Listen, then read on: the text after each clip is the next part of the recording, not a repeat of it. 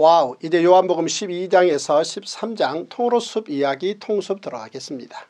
첫 번째 포인트 사도 요한은 마지막 유월절 엿새 전에 예수님께서 베다니의 나사로 집에서 머무셨다고 증언합니다. 예수님의 발에 향유를 부은 마리아 이야기는 마태복음과 마가복음에도 기록되어 있습니다. 그런데 요한은 그 일이 유월절 엿새 전 베다니 나사로의 집에서 있었던 일이라고 자세히 기록합니다. 6월절 엿새 전에 예수께서 베다니에 이르시니 이곳은 예수께서 죽은 자 가운데서 살리신 나사로가 있는 곳이라. 거기서 예수를 위하여 잔치할세 마르다는 일을 하고 나사로는 예수와 함께 앉은 자 중에 있더라.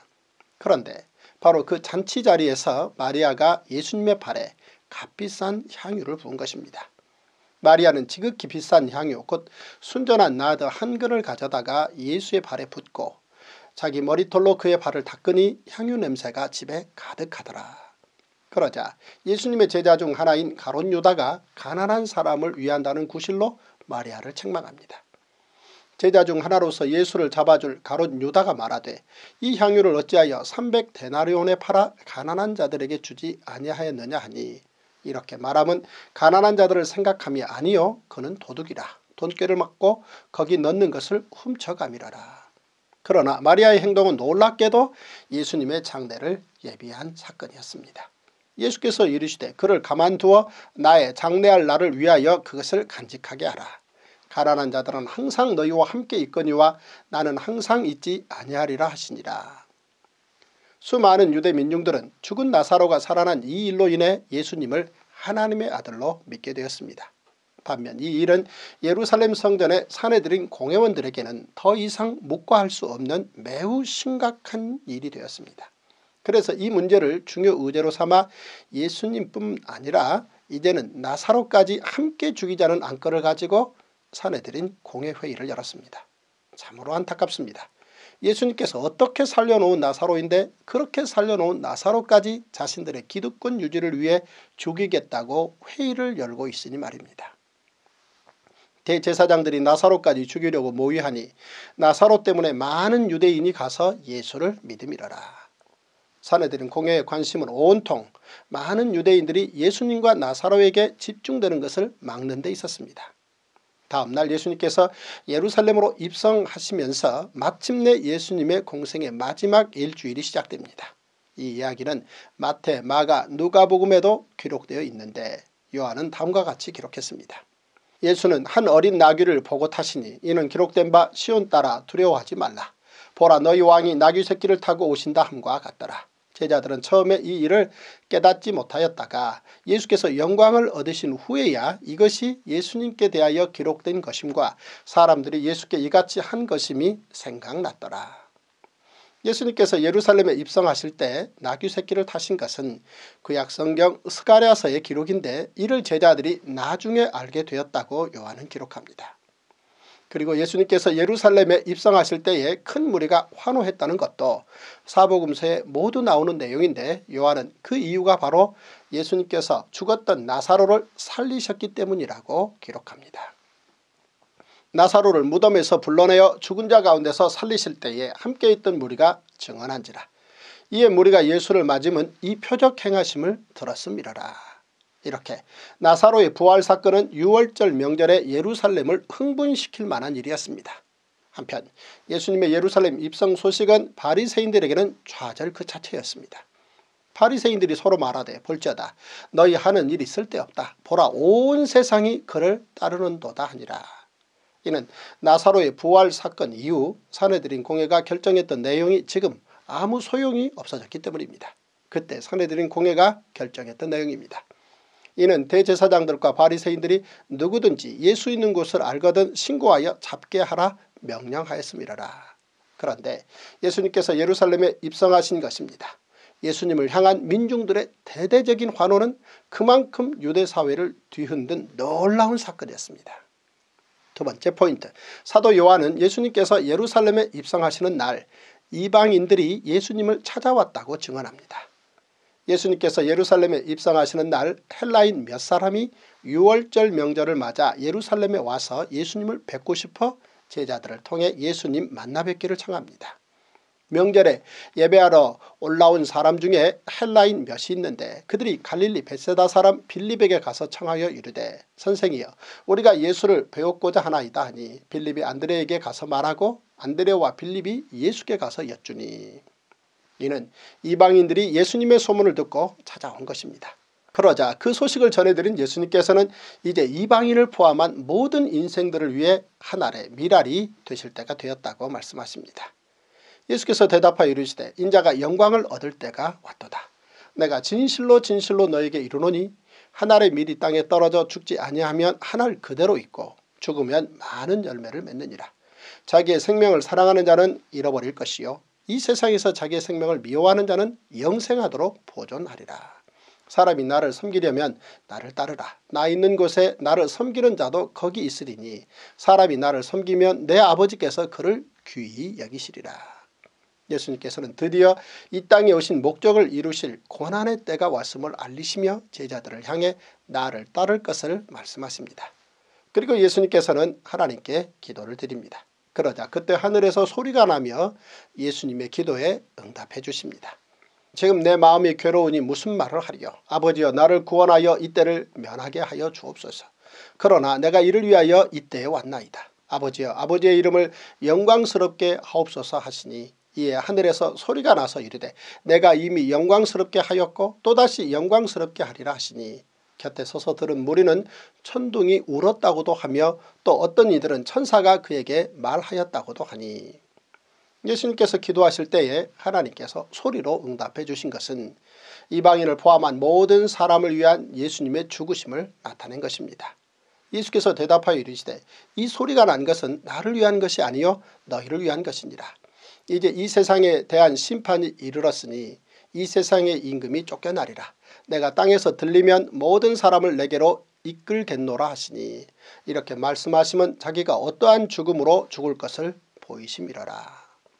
그러나 예수님의 이 말씀에도 사람들이 예수님의 고난을 깨닫지 못하자 예수님께서는 빛 대신 예수님을 믿어 심판을 면하라고 말씀해 주십니다. 이에 무리가 대답하되 우리는 율법에서 그리스도가 영원히 계신다 함을 들었거늘 너는 어찌하여 인자가 들려야 하리라 하느냐. 이 인자는 누구냐 예수께서 이르시되 아직 잠시 동안 빛이 너희 중에 있으니 빛에 있을 동안에 다녀 어둠에 붙잡히지 않게 하라. 어둠에 다니는 자는 그 가는 곳을 알지 못하느니라. 너희에게 아직 빛이 있을 동안에 빛을 믿으라. 그래야하면 빛의 아들이 되리라. 예수께서 이 말씀을 하시고 그들을 떠나가사 숨으시니라. 세 번째 포인트 사도 요한은 많은 유대인들이 예수님의 표적을 보고도 예수님이 하나님의 아들이심을 믿지 않았다고 증언합니다. 예수님께서는 3년 공생애 동안 먹이시고 고치시고 가르치시고 용서하시고 기도하시는 하나님 나라의 사역을 감당하셨습니다. 그래서 예수님을 구주로 믿는 많은 사람들도 있었지만 안타깝게도 끝까지 예수님을 믿지 않는 사람들도 있었습니다. 이렇게 많은 표적을 그들 앞에서 행하셨으나 그를 믿지 아니하니 이는 선지자 이사야의 말씀을 이루려 하십니다. 이르되 주여 우리에게서 들은 바를 누가 믿었으며 주의 팔이 누구에게 나타났나이까 하였더라. 그들이 예수님의 많은 표적에도 끝까지 예수님을 믿지 않은 것은 이사야 선지자가 이미 예언한 것이었습니다. 우리가 전한 것을 누가 믿었느냐 여호와의 팔이 누구에게 나타났느냐 여호와께서 이르시되 가서 이 백성에게 이르기를 너희가 듣기는 들어도 깨닫지 못할 것이요 보기는 보아도 알지 못하리라 하여 이 백성의 마음을 둔하게 하며 그들의 귀가 막히고 그들의 눈이 감기게 하라. 염려하건대 그들이 눈으로 보고 귀로 듣고 마음으로 깨닫고 다시 돌아와 고침을 받을까 하노라 하시기로. 그런데 한편으로 예수님을 믿는 바리새인들도 있었습니다. 그러나 관리 중에도 그를 믿는 자가 많되 바리새인들 때문에 드러나게 말하지 못하니 이는 출교를 당할까 두려워합니다. 그들은 사람의 영광을 하나님의 영광보다 더 사랑하였더라. 당시 사내들인 공회의 결의로 예수를 믿는 자는 유대 공동체에서 출교시켰기 때문에 공식적으로 예수를 믿는다고 말은 하지 않았지만 관리 중에도 믿는 자들이 있었던 것입니다. 그러나 요한은 사내들인 공회 세력들에 대해 그들은 사람의 영광을 하나님의 영광보다 더 사랑하는 자들이라고 평가했습니다. 이제 예수님께서는 십자가 순환을 앞두시고 마지막으로 민중들에게 메시지를 전하십니다. 즉 예수님께서 이 땅에 오신 목적은 세상을 구원하시기 위함이라는 말씀입니다. 예수께서 외쳐 이르시되 나를 믿는 자는 나를 믿는 것이 아니요 나를 보내신 이를 믿는 것이며 나를 보는 자는 나를 보내신 이를 보는 것이니라. 나는 빛으로 세상에 왔나니 물은 나를 믿는 자로 어둠에 거하지 않게 하려 함이로라. 사람이 내 말을 듣고 지키지 아니할지라도 내가 그를 심판하지 아니하노라. 내가 온 것은 세상을 심판하려 함이 아니요 세상을 구원하려 함이로라. 그러나 예수님을 믿지 않는 자들은 심판을 받을 것이라고 경고하십니다. 나를 저버리고 내 말을 받지 아니하는 자를 심판할 이가 있으니 곧 내가 한 그 말이 마지막 날에 그를 심판하리라. 내가 내 자유로 말한 것이 아니요 나를 보내신 아버지께서 내가 말한 것과 이럴 것을 친히 명령하여 주셨으니 나는 그의 명령이 영생인 줄 아노라. 그러므로 내가 이르는 것은 내 아버지께서 내게 말씀하신 그대로니라 하시니라. 네 번째 포인트 사도 요한은 마지막 6월절에 예수님께서 제자들의 발을 씻어주셨다고 증언합니다. 예수님께서는 1500년 된 6월절에 천년의 도시 예루살렘에서 제자들과 마지막 6월절을 지키십니다. 그리고 그 6월절을 마지막 6월절이 되게 하시고 첫 번째 성찬식으로 바꾸셨습니다. 예수님께서는 성찬식 후에 친히 제자들의 발을 씻겨주셨습니다. 6월절 전에 예수께서 자기가 세상을 떠나 아버지께로 돌아가실 때가 이른 줄 아시고 세상에 있는 자기 사람들을 사랑하시되 끝까지 사랑하시니라.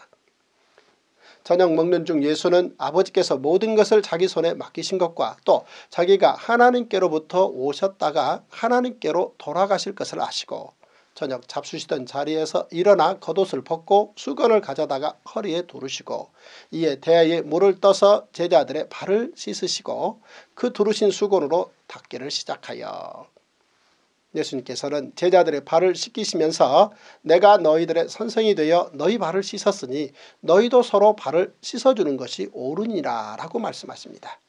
예수님께서 실제 섬김의 본을 보여주신 것입니다. 이는 철저한 현장학습이었습니다. 이후에 대지사장 세력들이 예수님을 체포할 때 그들은 예수님의 제자들이 도망가도록 내버려 두었습니다.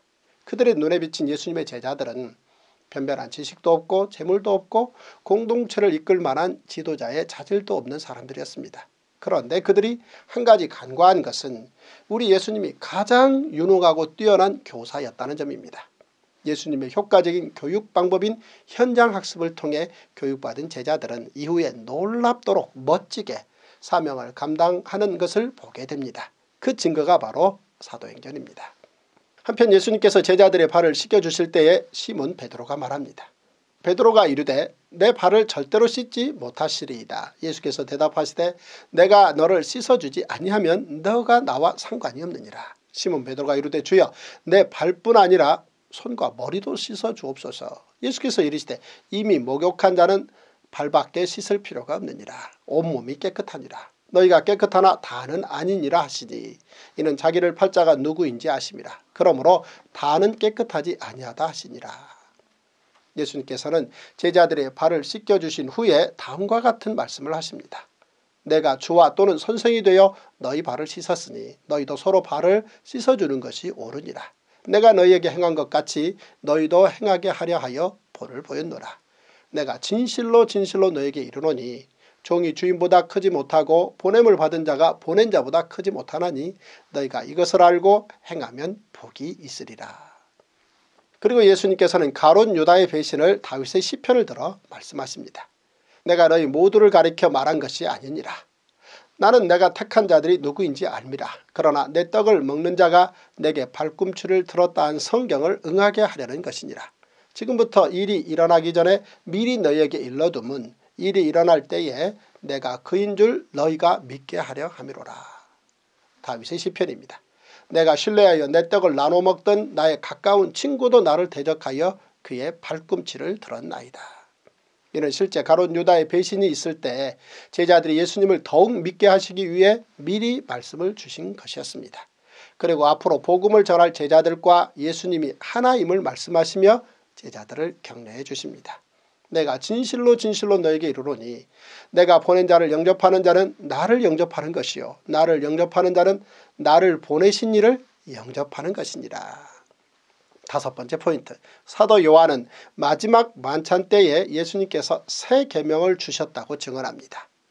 예수님께서 마지막 만찬에서 주신 말씀입니다. 그가 나간 후에 예수께서 이르시되 지금 인자가 영광을 받았고 하나님도 인자로 말미암아 영광을 받으셨도다.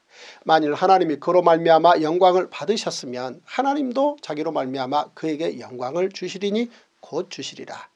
작은 자들아 내가 아직 잠시 너희와 함께 있겠노라. 너희가 나를 찾을 것이나 일찍이 내가 유대인들에게 너희는 내가 가는 곳에 올 수 없다고 말한 것과 같이 지금 너희에게도 이르노라. 그리고 제자들에게 새 계명을 주십니다.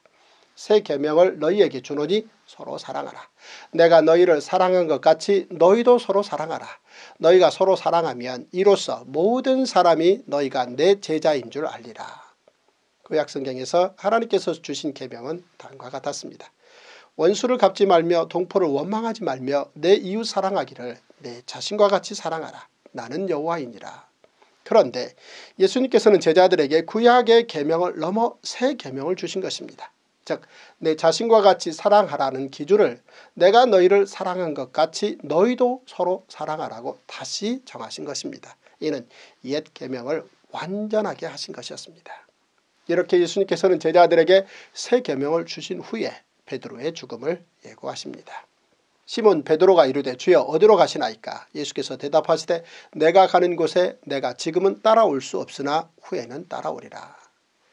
베드로가 지금은 따라갈 수 없는 곳 그곳은 곧 십자가의 길이었습니다. 베드로는 예수님을 위하여 자기 목숨도 버리겠다고 말하지만 예수님께서는 베드로가 세 번 부인할 것을 말씀하십니다.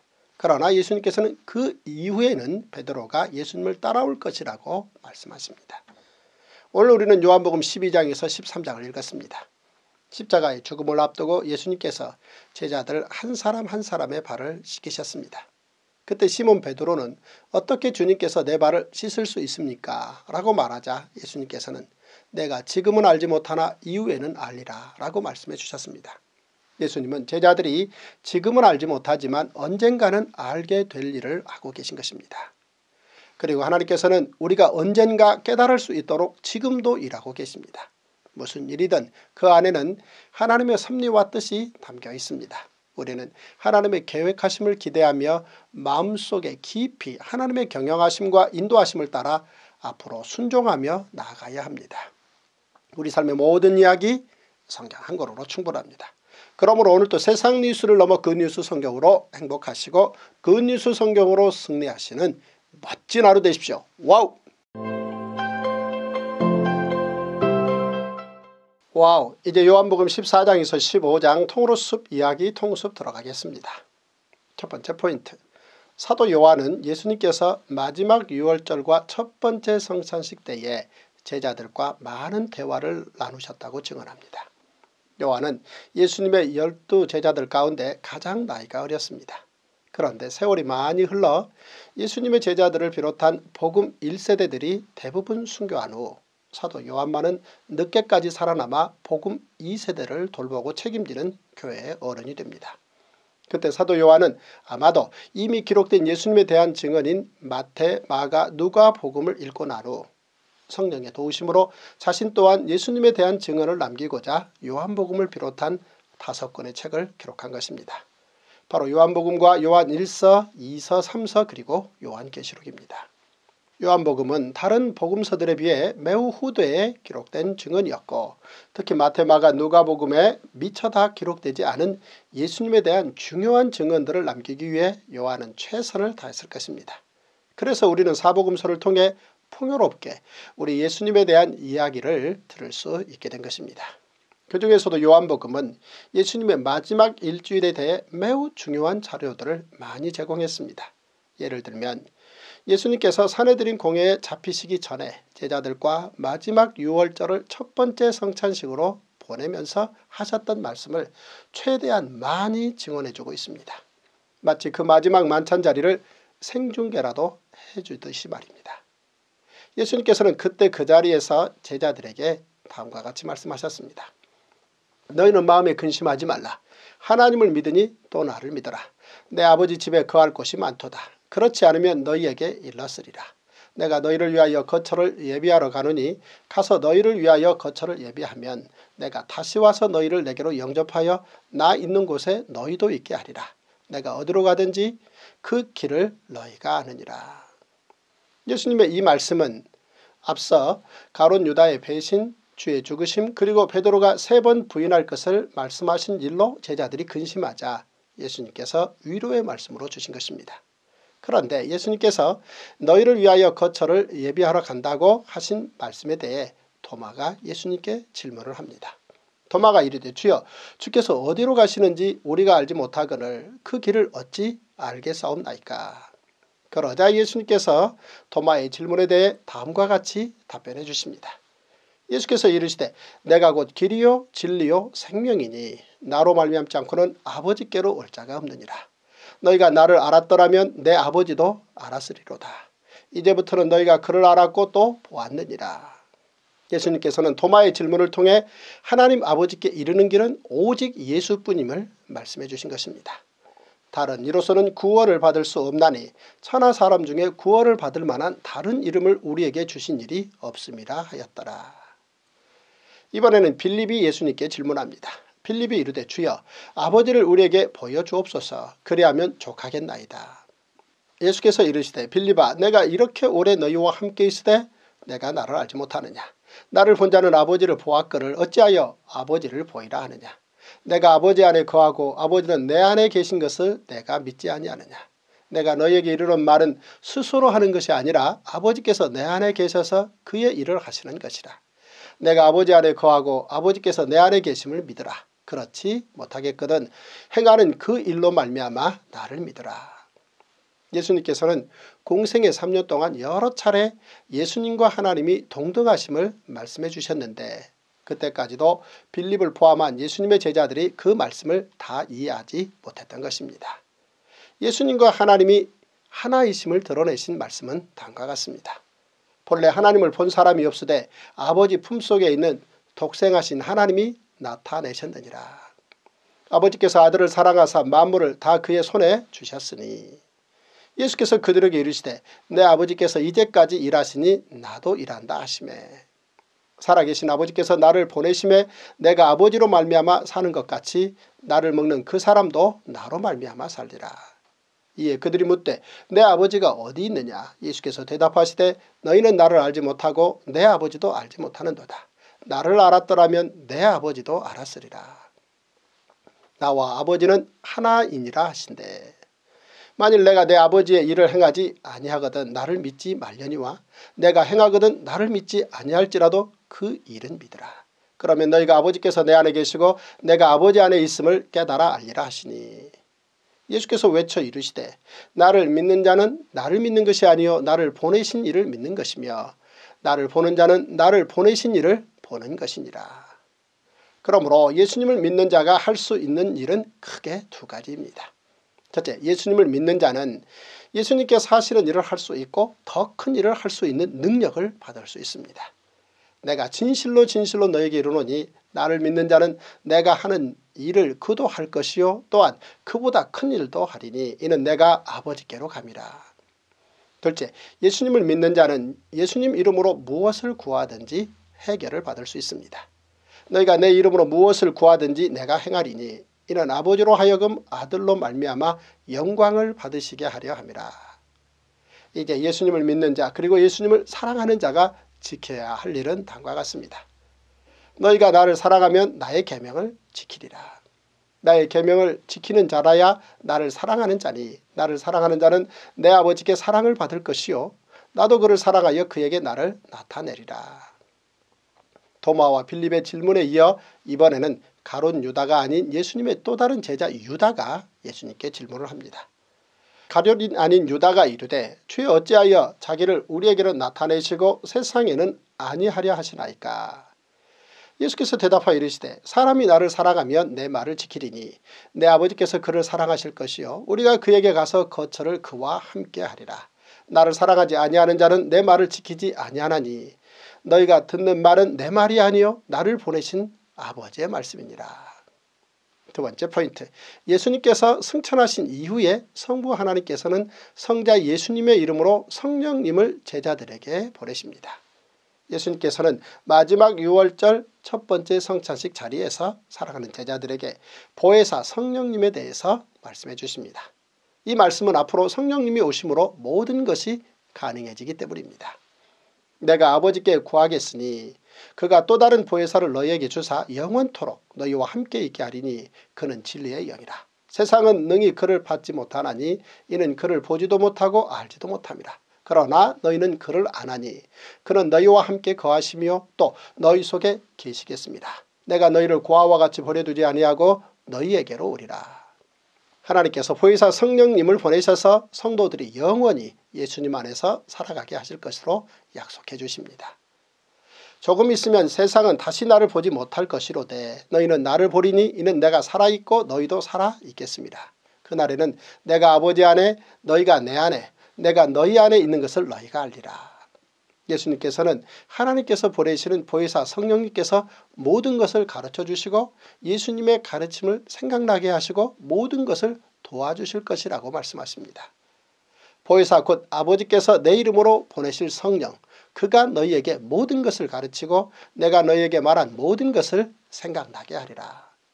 그리고 예수님께서는 제자들에게 세상이 주는 것과 같지 않은 평안을 주실 것이라고 말씀하십니다. 여기에서 보혜사를 뜻하는 헬라어는 파라클레토스로서 이는 성령을 가리킵니다. 이는 대언자, 중보자, 조력자 등을 의미합니다.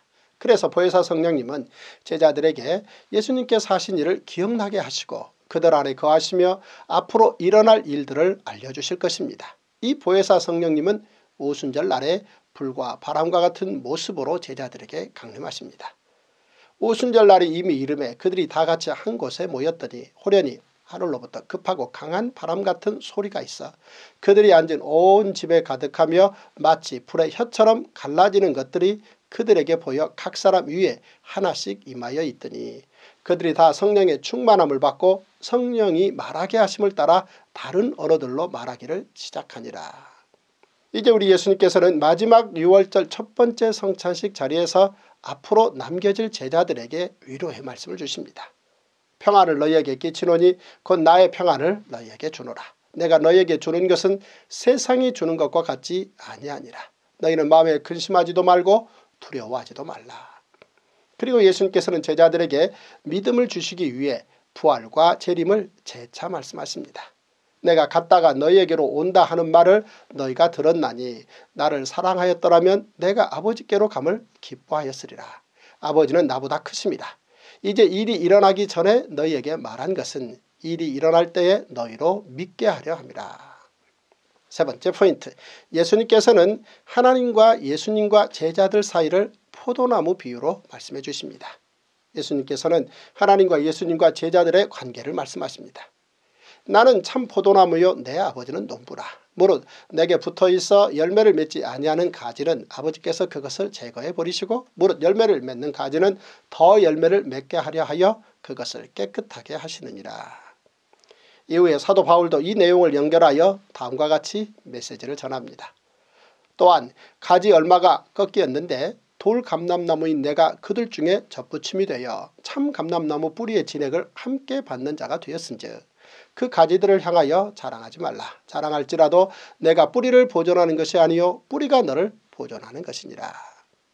구약에서도 포도나무 비유가 많이 있었습니다. 그때는 하나님이 농부셨고 포도나무는 이스라엘 백성들이었습니다. 주께서 한 포도나무를 애굽에서 가져다가 민족들을 쫓아내시고 그것을 심으셨나이다. 나는 내가 사랑하는 자를 위하여 노래하되 내가 사랑하는 자의 포도원을 노래하리라. 내가 사랑하는 자에게 포도원이 있으며 심이 기름진 사내로다. 땅을 파서 돌을 제하고 극상품 포도나무를 심었도다. 그 중에 망대를 세웠고 또 그 안에 술토를 팠도다. 좋은 포도 맺기를 바랐더니 들포도를 맺었도다. 내가 너를 순전한 참 종자 곧 귀한 포도나무로 심었거를 내게 대하여 이방 포도나무의 악한 가지가 되면 어찌 됨이냐. 그러므로 주 여호와께서 이같이 말씀하셨느니라. 내가 숲을 가운데 있는 포도나무를 불에 던질 땔감이 되게 한 것 같이 내가 예루살렘 주민도 그같이 할지라. 그런데 땔감이 될 수밖에 없던 포도나무가 이제 참 포도나무이신 예수님을 만난 것입니다. 너희는 내가 일러준 말로 이미 깨끗하여졌으니 내 안에 거하라. 나도 너희 안에 거하리라. 가지가 포도나무에 붙어 있지 아니하면 스스로 열매를 맺을 수 없음 같이 너희도 내 안에 있지 아니하면 그러하리라. 나는 포도나무요 너희는 가지라. 그가 내 안에 내가 그 안에 거하면 사람이 열매를 많이 맺나니 나를 떠나서는 너희가 아무것도 할 수 없습니다. 사람이 내 안에 거하지 아니하면 가지처럼 밖에 버려져 마르나니 사람들이 그것을 모아다가 불에 던져 사르느니라. 예수님께서 제자들에게 주시는 메시지는 다음에 세 가지입니다. 첫째, 예수님 안에 거하면 무엇이든지 구하는 대로 이룰 것입니다. 너희가 내 안에 거하고 내 말이 너희 안에 거하면 무엇이든지 원하는 대로 구하라. 그리하면 이루리라. 둘째, 열매를 많이 맺으면 하나님께서 영광을 받으시고 제자들은 주의 제자가 될 것입니다. 너희가 열매를 많이 맺으면 내 아버지께서 영광을 받으실 것이요 너희는 내 제자가 되리라. 셋째, 하나님의 계명을 지키면 주의 사랑 안에 거하게 되고 기쁨이 충만할 것입니다. 내가 아버지의 계명을 지켜 그의 사랑 안에 거하는 것 같이 너희도 내 계명을 지키면 내 사랑 안에 거하리라. 내가 이것을 너희에게 이르면 내 기쁨이 너희 안에 있어 너희 기쁨을 충만하게 하려 함이라. 네 번째 포인트. 하나님께서 아브라함을 친구로 삼으셨듯이 예수님께서도 제자들을 친구로 삼아주십니다. 하나님의 사람 아브라함은 믿음으로 의인이라 칭함을 받았고 모리아산에서의 순종으로 말미암아 하나님과 친구가 되는 영광을 누렸습니다. 그러나 나의 종 너 이스라엘아 내가 택한 야곱아 나의 벗 아브라함의 자손아 이는 성경에 이른바 아브라함이 하나님을 믿으니 이것을 의로 여기셨다는 말씀이 이루어졌고 그는 하나님의 벗이라 칭함을 받았나니 이처럼 하나님께서 아브라함을 친구라 불러주셨듯이 예수님께서도 제자들을 친구라 불러주십니다. 내 계명은 곧 내가 너희를 사랑한 것 같이 너희도 서로 사랑하라 하는 이것이니라. 새 계명을 너희에게 주노니 서로 사랑하라. 내가 너희를 사랑한 것 같이 너희도 서로 사랑하라. 너희가 서로 사랑하면 이로써 모든 사람이 너희가 내 제자인 줄 알리라. 사람이 친구를 위하여 자기 목숨을 버리면 이보다 더 큰 사랑이 없나니. 그리고 예수님께서 주신 새 계명을 지키는 자는 다음과 같은 복을 받게 될 것입니다. 첫째 예수님의 친구로 삼아주십니다. 둘째 하나님께 들은 것을 다 알려주십니다. 셋째 열매를 많이 맺어 무엇이든 구하는 것을 다 받게 해주십니다. 너희는 내가 명하는 대로 행하면 곧 나의 친구라. 이제부터는 너희를 종이라 하지 아니하리니 종은 주인이 하는 것을 알지 못함이라. 너희를 친구라 하였노니 내가 내 아버지께 들은 것을 다 너희에게 알게 하였습니다. 너희가 나를 택한 것이 아니요 내가 너희를 택하여 세웠나니 이는 너희로 가서 열매를 맺게 하고 또 너희 열매가 항상 있게 하여 내 이름으로 아버지께 무엇을 구하든지 다 받게 하려 함이라. 내가 이것을 너희에게 명하면 너희로 서로 사랑하게 하려 함이라. 예수님의 제자들은 예수님께서 가시는 고난의 길을 함께 갈 친구가 될 것입니다. 비록 제자들이 육신으로는 더 이상 예수님을 볼 수 없을 것이지만 이제 예수님께서는 성령으로 그들과 함께 계실 것입니다. 진리의 성령께서 오셔서 제자들을 진리 가운데로 인도하실 것입니다. 결국 예수님은 떠나시는 것이 아니라 더 가까이 계시며 환란을 당하는 제자들에게 세상을 이길 힘을 더하여 주실 것입니다. 담대하라 내가 세상을 이기었노라. 다섯 번째 포인트 예수님께서는 세상이 예수님을 미워한 것처럼 제자들도 미워할 것이라고 미리 말씀해 주십니다. 이제 예수님께서는 제자들과 세상과의 관계를 말씀해 주십니다. 즉 세상이 예수님을 미워한 것처럼 세상이 예수님의 제자들을 미워할 것이라고 미리 말씀해 주십니다. 세상이 너희를 미워하면 너희보다 먼저 나를 미워한 줄을 알라. 너희가 세상에 속하였으면 세상이 자기의 것을 사랑할 것이나 너희는 세상에 속한 자가 아니요 도리어 내가 너희를 세상에서 택하였기 때문에 세상이 너희를 미워하느니라. 그리고 이 또한 율법의 말씀대로 진행될 것이라고 말씀하십니다. 그러나 이는 그들의 율법에 기록된 바 그들이 이유 없이 나를 미워하였다 한 말을 응하게 하려 함이라. 예수님의 이 말씀은 구약성경 시편 말씀의 성취입니다. 부당하게 나의 원수된 자가 나로 말미암아 기뻐하지 못하게 하시며 까닭없이 나를 미워하는 자들이 서로 눈짓하지 못하게 하소서. 까닭없이 나를 미워하는 자가 나의 머리털보다 많고 부당하게 나의 원수가 되어 나를 끊으려 하는 자가 강하였으니 내가 빼앗지 아니한 것도 물어주게 되었나이다. 그러나 예수님께서는 보혜사 성령께서 우리를 도우실 것을 말씀하십니다. 내가 아버지께로부터 너에게 보낼 보혜사 곧 아버지께로부터 나오시는 진리의 성령이 오실 때에 그가 나를 증언하실 것이요 너희도 처음부터 나와 함께 있었으므로 증언하였느니라. 오늘 우리는 요한복음 14장에서 15장을 읽었습니다. 하나님의 사랑을 받은 우리가 하나님을 위해 제일 먼저 해야 되는 것은 언제나 하나님 안에 거하는 것입니다. 가지가 포도나무에 붙어있지 아니하면 열매를 맺지 못하는 것처럼 하나님을 향해서 많은 열매를 맺고 싶은 사람은 하나님과 동행하는 삶을 살아야 합니다. 하나님과 동행한다는 것은 하나님의 말씀을 기억하고 말씀하신 그대로 순종하며 살아가는 것입니다.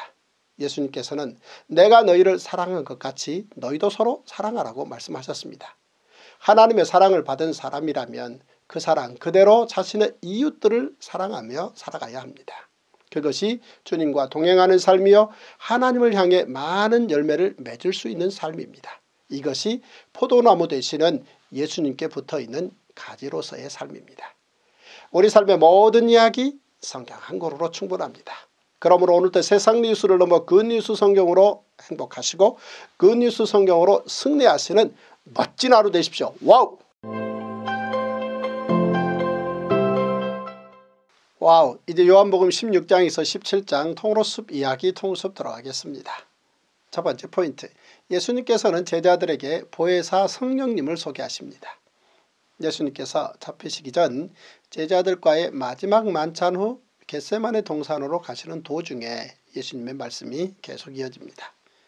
예수님께서는 제자들에게 오실 성령님과 그 성령님께서 하시는 일에 대해 가르쳐 주셨습니다.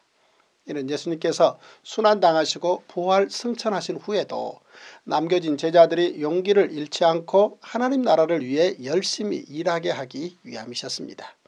그리고 제자들이 실족하여 믿음을 잃어버리지 않도록 미리 성령님에 대해 말씀해 주신 것입니다.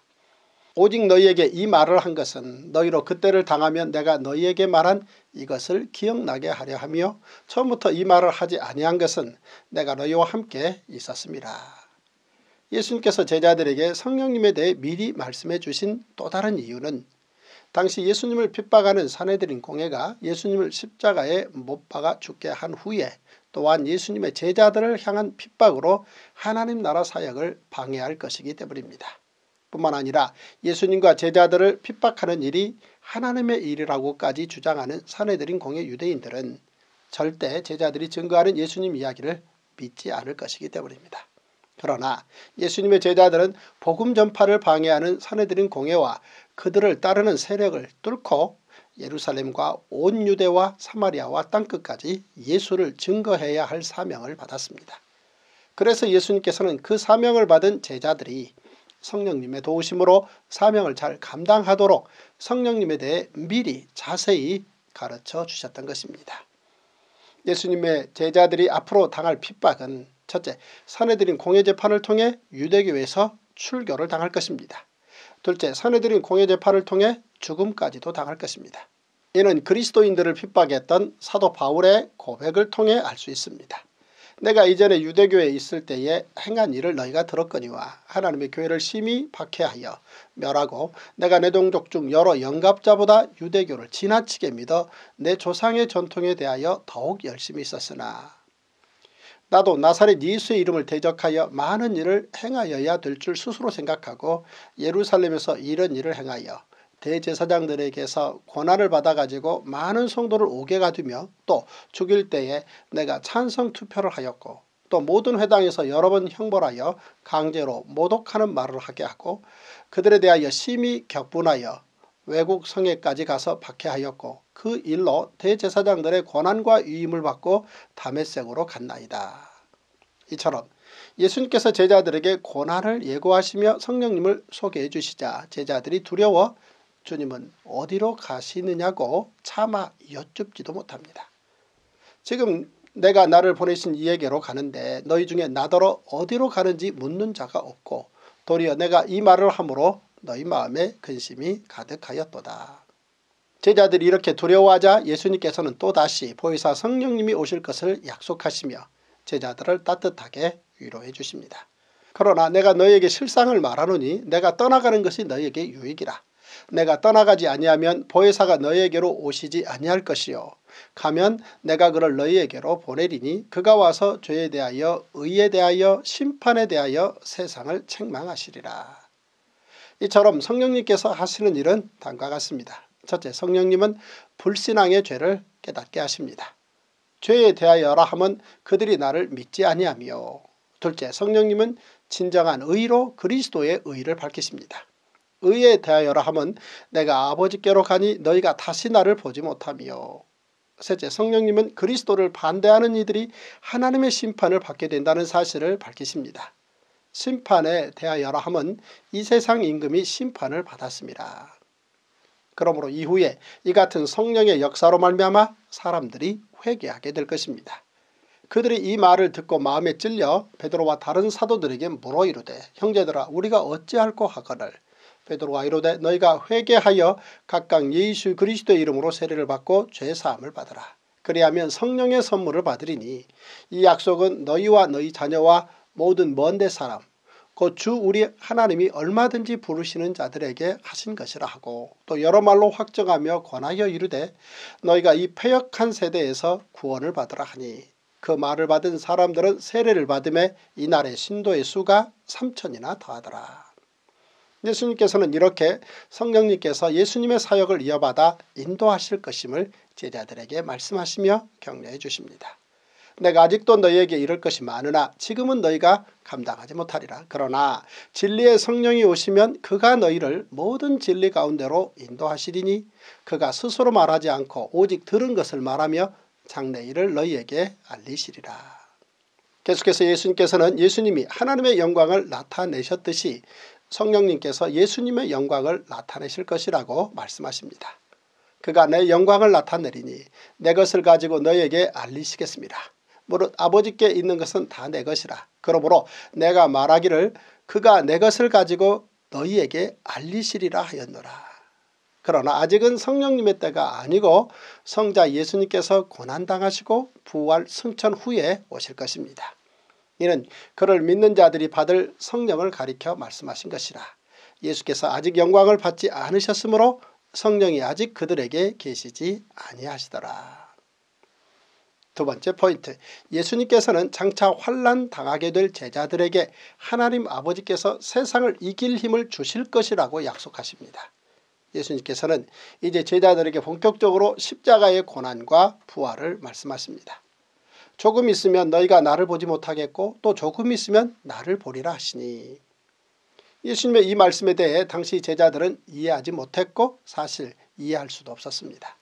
제자 중에 서로 말하되 우리에게 말씀하신 바 조금 있으면 나를 보지 못하겠고 또 조금 있으면 나를 보리라 하시며 또 내가 아버지께로 가미라 하신 것이 무슨 말씀이냐 하고 또 말하되 조금 있으면 이라 하신 말씀이 무슨 말씀이냐 무엇을 말씀하시는지 알지 못하겠노라 하거늘 제자들이 예수님의 말씀을 전혀 이해하지 못하자 예수님께서는 여인의 해산 비유로 다시 그 말씀을 설명해 주십니다. 내가 진실로 진실로 너에게 이르노니 너희는 곡하고 애통하겠으나 세상은 기뻐하리라. 너희는 근심하겠으나 너희 근심이 도리어 기쁨이 되리라. 여자가 해산하게 되면 그때가 이르렀으므로 근심하나 아기를 낳으면 세상에 사람 난 기쁨으로 말미암아 그 고통을 다시 기억하지 아니하느니라. 지금은 너희가 근심하나 내가 다시 너희를 보리니 너희 마음이 기쁠 것이요 너희 기쁨을 빼앗을 자가 없으리라. 이는 예수님의 죽음에 대해 제자들은 애통하고 사내들인 공예는 기뻐할 것이지만 예수님의 부활로 말미암아 제자들은 다시 크게 기뻐하게 될 것을 말씀하신 것입니다. 그리고 예수님께서는 그날을 위해 기도를 가르쳐 주십니다. 그날에는 너희가 아무것도 내게 묻지 아니하리라. 내가 진실로 진실로 너에게 이르노니 너희가 무엇이든지 아버지께 구하는 것을 내 이름으로 주시리라. 지금까지는 너희가 내 이름으로 아무것도 구하지 아니하였으나 구하라. 그리하면 받으리니 너희 기쁨이 충만하리라. 그날에 너희가 내 이름으로 구할 것이요 내가 너희를 위하여 아버지께 구하겠다 하는 말이 아니니 이는 너희가 나를 사랑하고 또 내가 하나님께로부터 온 줄 믿었으므로 아버지께서 친히 너희를 사랑하십니다. 즉 제자들 그리스도인들이 예수님의 이름으로 기도하면 하나님께서 구하는 것을 주시고 기쁨을 충만하게 해주실 것입니다. 이제 예수님의 이 말씀을 듣고 제자들이 예수님께 다음과 같이 고백합니다. 제자들이 말하되 지금은 밝히 말씀하시고 아무 비유로도 하지 아니하시니 우리가 지금에야 주께서 모든 것을 아시고 또 사람의 물음을 기다리시지 않는 줄 아나이다. 이로써 하나님께로부터 나오심을 우리가 믿사옵나이다. 이때 제자들의 이 믿음의 고백은 아직은 불완전한 미완성의 고백이었습니다. 그러나 이렇게 제자들이 부족하나마 예수님께 믿음을 고백하자 예수님께서는 제자들이 예수님을 잠시 배신할 것이라고 미리 말씀하십니다. 예수께서 대답하시되 이제는 너희가 믿느냐 보라 너희가 다 각각 제 곳으로 흩어지고 나를 혼자 둘 때가 오나니 벌써 왔도다. 그러나 내가 혼자 있는 것이 아니라 아버지께서 나와 함께 계시느니라. 예수님의 이 말씀은 구약성경 스가랴서를 인용하신 것입니다. 만군의 여호와가 말하노라. 카라 깨어서 내 목자 내 짝된 자를 치라. 목자를 치면 양이 흩어지려니와 작은 자들 위에는 내가 내 손을 들이우리라. 그러나 예수님께서 이 모든 것을 말씀하신 이유는 다음과 같은 까닭 때문이었습니다. 이것을 너에게 이루는 것은 너희로 내 안에서 평안을 누리게 하려 함이라. 세상에서는 너희가 환란을 당하나 담대하라. 내가 세상을 이기었노라. 예수님께서 승리하셨듯이 제자들도 승리할 것을 말씀하신 것입니다. 예수님의 이 말씀은 이후에 사도들의 고백이 됩니다. 사도 요한의 고백입니다. 자녀들아 너희는 하나님께 속하였고 또 그들을 이기었나니 이는 너희 안에 계신 이가 세상에 있는 자보다 크십니다. 노릇 하나님께로부터 난 자마다 세상을 이기느니라. 세상을 이기는 승리는 이것이니 우리의 믿음이니라. 이어서 사도 바울의 고백입니다. 우리 주 예수 그리스도로 말미암아 우리에게 승리를 주시는 하나님께 감사하노니 이제 예수님께서는 제자들과 떨어져 아버지께로 가야 하실 때가 가까이 옵니다. 예수님께서 세상을 이기신 것처럼 이제 제자들도 예수님 안에서 평안을 누리며 세상을 이기게 하기 위하여 예수님께서는 제자들에게 중요한 당부의 말씀을 남기십니다. 즉 장차 있을 일들을 대비해서 제자들이 예수의 이름으로 아버지께 직접 구할 수 있다는 것과 아버지께서 친히 그들을 사랑하신다는 사실입니다. 그리고 예수님 혼자 버려질 때가 곧 오지만 아버지께서 예수님과 함께 계시듯 제자들도 이 세상에 홀로 버려졌다는 느낌이 들 때 역시 하나님 아버지께서 그들과 함께 계심을 잊지 말라고 당부하십니다. 세 번째 포인트 예수님께서는 예수님 자신과 하나님의 영광을 위한 기도를 드리십니다. 사도 요한은 요한복음에서 다른 복음서들과 달리 예수님의 겟세만의 동산에서의 기도 대신 십자가 고난과 부활 전에 하셨던 기도를 소개합니다. 먼저 예수님께서는 아버지 하나님의 영화로움을 위해 아들을 영화롭게 해주시기를 기도하십니다. 예수께서 이 말씀을 하시고 눈을 들어 하늘을 우러러 이르시되 아버지여 때가 이르러 싸우니 아들을 영화롭게 하사 아들로 아버지를 영화롭게 하게 하옵소서. 아버지께서 아들에게 주신 모든 사람에게 영생을 주게 하시려고 만민을 다스리는 권세를 아들에게 주셨음이로소이다.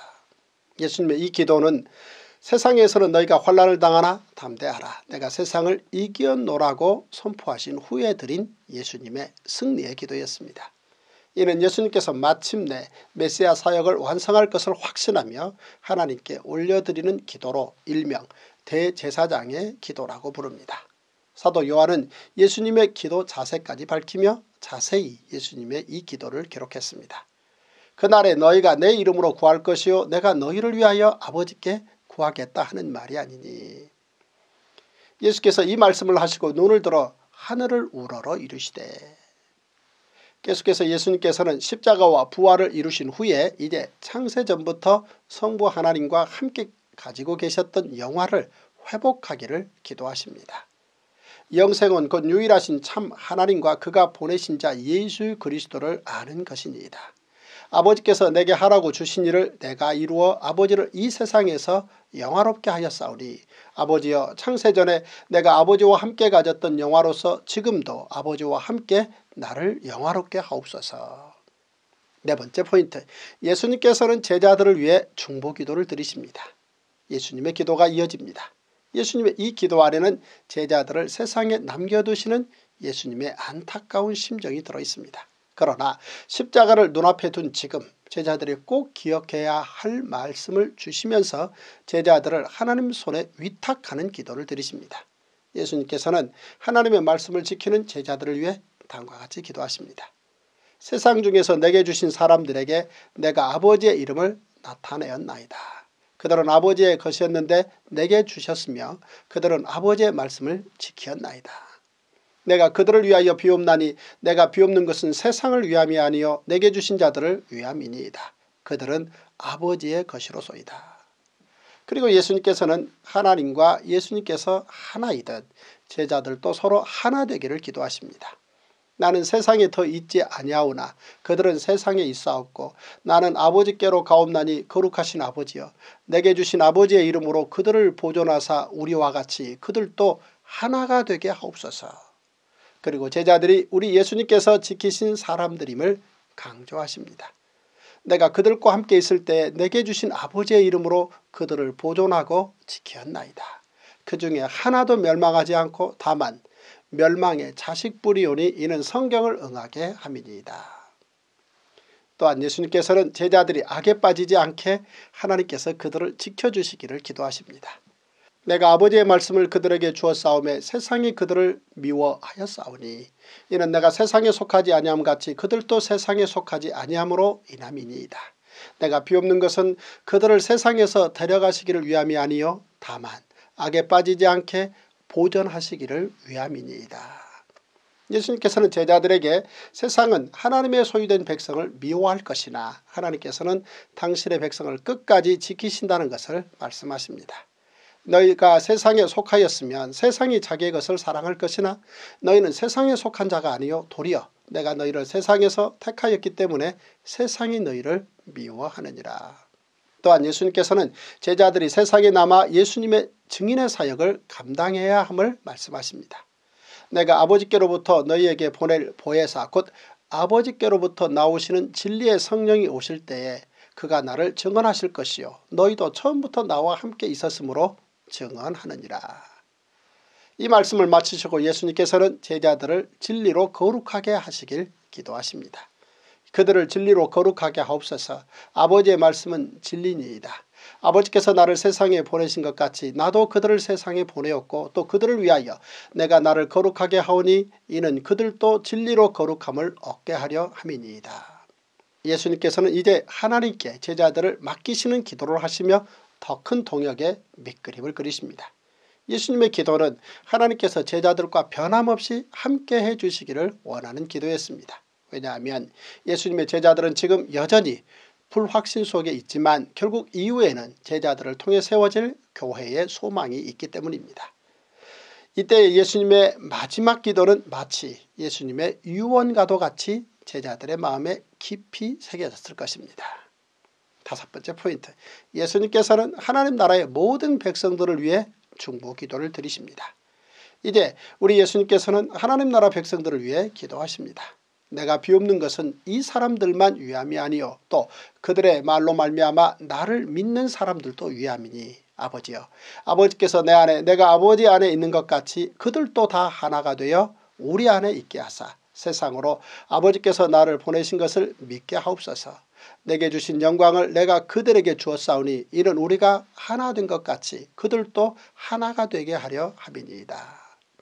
곧 내가 그들 안에 있고 아버지께서 내 안에 계시어 그들로 온전함을 이루어 하나가 되게 하려 함은 아버지께서 나를 보내신 것과 또 나를 사랑하신 같이 그들도 사랑하신 것을 세상으로 알게 하려 함이로소이다. 그리고 이어서 예수님께서는 하나님 나라 백성들이 하나님의 영광에 참여하기를 기도하십니다. 아버지여 내게 주신 자도 나 있는 곳에 나와 함께 있어 아버지께서 창세전부터 나를 사랑하심으로 내게 주신 나의 영광을 그들로 보게 하시기를 원하옵나이다. 의로우신 아버지여 세상의 아버지를 알지 못하여도 나는 아버지를 알았사옵고 그들도 아버지께서 나를 보내신 줄 알았사옵나이다. 내가 아버지의 이름을 그들에게 알게 하였고 또 알게 하리니 이는 나를 사랑하신 사랑이 그들 안에 있고 나도 그들 안에 있게 하려 함이니이다. 오늘 우리는 요한복음 16장에서 17장을 읽었습니다. 우리와 하나님과의 새로운 관계를 위해 화목제물이 되신 예수님께서는 친히 우리를 위해 간구하시는 분입니다. 예수님께서는 자신의 죽음 후에 제자들에게 환란이 닥쳐올 것을 미리 아시고 그들을 위하여 기도하신 것입니다. 우리 삶의 어느 순간이든 예수님께서 하나님 우편에 앉아 우리를 위해 간구하신다는 사실을 기억한다면 우리 삶에는 늘 감사가 넘칠 것입니다. 우리 삶의 모든 이야기 성경 한 권으로 충분합니다. 그러므로 오늘도 세상 뉴스를 넘어 good news 성경으로 행복하시고 good news 성경으로 승리하시는 멋진 하루 되십시오. 와우! 와우 이제 요한복음 18장에서 19장 통으로 숲 이야기 통숲 들어가겠습니다. 첫 번째 포인트 예수님께서 1차 산헤드린 공회의 재판을 받으십니다.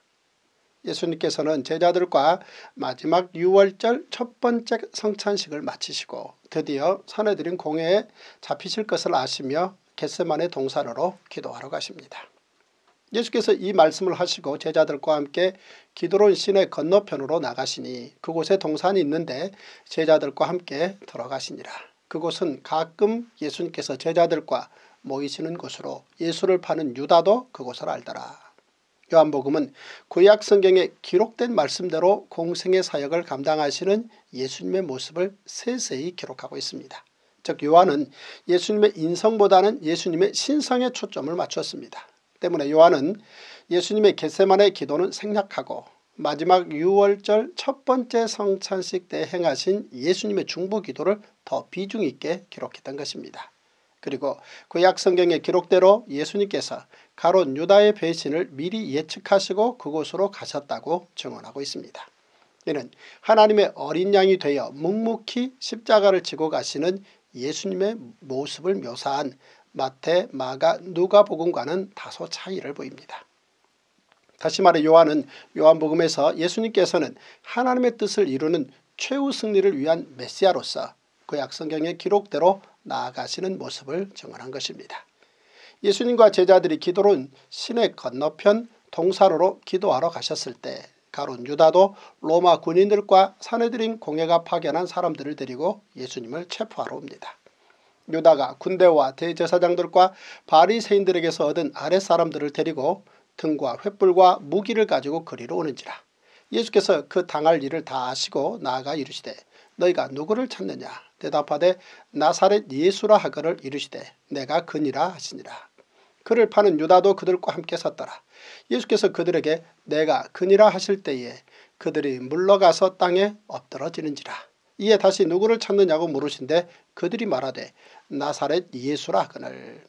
사내들인 공회의 예수님의 체포 준비는 치밀했습니다. 먼저 가롯 유다의 밀고에 따른 야간 기습 체포였습니다. 그리고 혹시 모를 유대 민중들의 소요를 대비해 천부장이 이끄는 로마 군대까지 동원했습니다. 또 야간 체포에 맞는 철저한 준비로 등과 횃불을 준비했고 검과 몽치로 완전 무장한 체포조의 파견이었습니다. 그러나 예수님께서는 그 당할 일을 다 아시고 예수님을 체포하러 온 사람들에게 스스로 나사렛 예수이심을 밝히십니다. 이에 예수님을 잡으러 온 사람들이 그 말씀에 두려움을 느껴 물러가서 땅에 엎드러집니다. 그리고 다시 똑같은 질문과 답을 반복합니다. 예수님께서는 이렇게 체포당하시는 중에도 제자들이 피할 수 있도록 길을 여십니다. 예수께서 대답하시되 너희에게 내가 그니라 하였으니 나를 찾거든 이 사람들이 가는 것은 용납하라 하시니 이는 아버지께서 내게 주신 자 중에서 하나도 잃지 아니하여 싸움나이다 하신 말씀을 응하게 하려 함이라라. 내가 그들과 함께 있을 때 내게 주신 아버지의 이름으로 그들을 보존하고 지켰나이다. 그 중에 하나도 멸망하지 않고 다만 멸망의 자식뿐이오니 이는 성경을 응하게 함이니이다. 이는 예수님께서 제자들 중 어느 누구도 잃지 않으시려는 의도였습니다. 이처럼 예수님께서는 산에 들인 세력들이 보낸 자들에게 잡히시는 그 순간까지도 제자들을 아끼시고 보호하셨습니다. 이때 베드로가 나서서 예수님의 체포를 가로막고 나옵니다. 그러자 예수님께서 도리어 베드로를 막으십니다. 이에 시몬 베드로가 칼을 가졌는데 그것을 빼어 대제사장의 종을 쳐서 오른쪽 귀를 베어버리니 그 종의 이름은 말고라. 예수께서 베드로더러 이르시되 칼을 칼집에 꽂으라. 아버지께서 주신 잔을 내가 마시지 아니하겠느냐 하시니라. 베드로의 이 행동은 모든 인간을 위한 하나님의 구원 계획을 가로막는 것이므로 예수님께서는 칼을 칼집에 꽂으라고 말씀하시며 베드로를 제지시키십니다. 이 모든 일은 구약 성경의 기록대로 예수님의 사역이 진행되는 것이기 때문입니다. 요한은 예수님께서 이때 주신 말씀이 예수님께서 이전에 하셨던 내가 마시는 잔임을 깨닫고 이때 모든 과정이 예수님께서 직접 그 잔을 마시는 과정이었다는 사실을 증언하고 있습니다. 이렇게 예수님을 체포하여 대제사장 안나스에게로 끌고 갑니다. 이에 군대와 천부장과 유대인의 아랫사람들이 예수를 잡아 결박하여 먼저 안나스에게로 끌고 가니 안나스는 그 해의 대제사장인 가야바의 장인이라. 가야바는 유대인들에게 한 사람이 백성을 위하여 죽는 것이 유익하다고 권고하던 자라라. 안나스는 가야바의 장인으로 사내들인 공회의 원로였습니다. 안나스는 이후 오순절 때에도 베드로를 신문합니다. 요한은 요한복음 11장에서 대제사장 가야바는 예수님의 처형을 독려한 사람이었다고 증언했습니다. 그 가야바가 어떤 사람인지 요한은 이렇게 요한복음 18장에서 다시 언급한 것입니다. 이렇게 예수님께서 대제사장 안나스에게 신문을 받게 되실 때에 베드로가 예수님을 처음 부인하는 사건이 일어납니다. 시몬 베드로와 또 다른 제자 한 사람이 예수를 따르니 이 제자는 대제사장과 아는 사람이라 예수와 함께 대제사장의 집들에 들어가고 베드로는 문 밖에 서 있는지라 대제사장을 아는 그 다른 제자가 나가서 문지키는 여자에게 말하여 베드로를 데리고 들어오니 문지키는 여종이 베드로에게 말하되 너도 이 사람의 제자 중 하나가 아니냐 하니 그가 말하되 나는 아니라 하고 그때가 추운 거로 종과 아래 사람들이 불을 피우고 서서 쬐니 베드로도 함께 서서 쬐더라. 여기에서 또 다른 제자 한 사람은 사도 요한으로 추정됩니다. 대제사장 안나스가 먼저 예수님을 신문하기 시작합니다. 대제사장이 예수에게 그의 제자들과 그의 교훈에 대하여 물으니 예수께서 대답하시되 내가 드러내놓고 세상에 말하였노라. 모든 유대인들이 모이는 회당과 성전에서 항상 가르쳤고 은밀하게는 아무것도 말하지 아니하였거를 어찌하여 내게 묻느냐. 내가 무슨 말을 하였는지 들은 자들에게 물어보라. 그들이 내가 하던 말을 아느니라.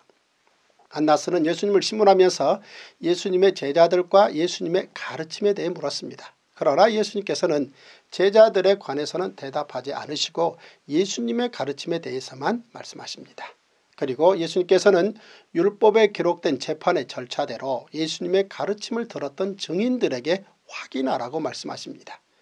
예수께서 이렇게 답변하시자 사내들인 공회의 원로 대제사장 안나스에게 더 낮은 자세로 대답하지 않는다는 이유로 사내들인 공회의 공회원도 아닌 아랫사람 하나가 예수님을 때립니다. 이 말씀을 하심에 곁에 섰던 아랫사람 하나가 손으로 예수를 쳐 이르되 내가 대제사장에게 이같이 대답하느냐 하니 예수께서 대답하시되 내가 말을 잘못하였으면 그 잘못한 것을 증언하라. 바른 말을 하였으면 내가 어찌하여 나를 치느냐 하시더라.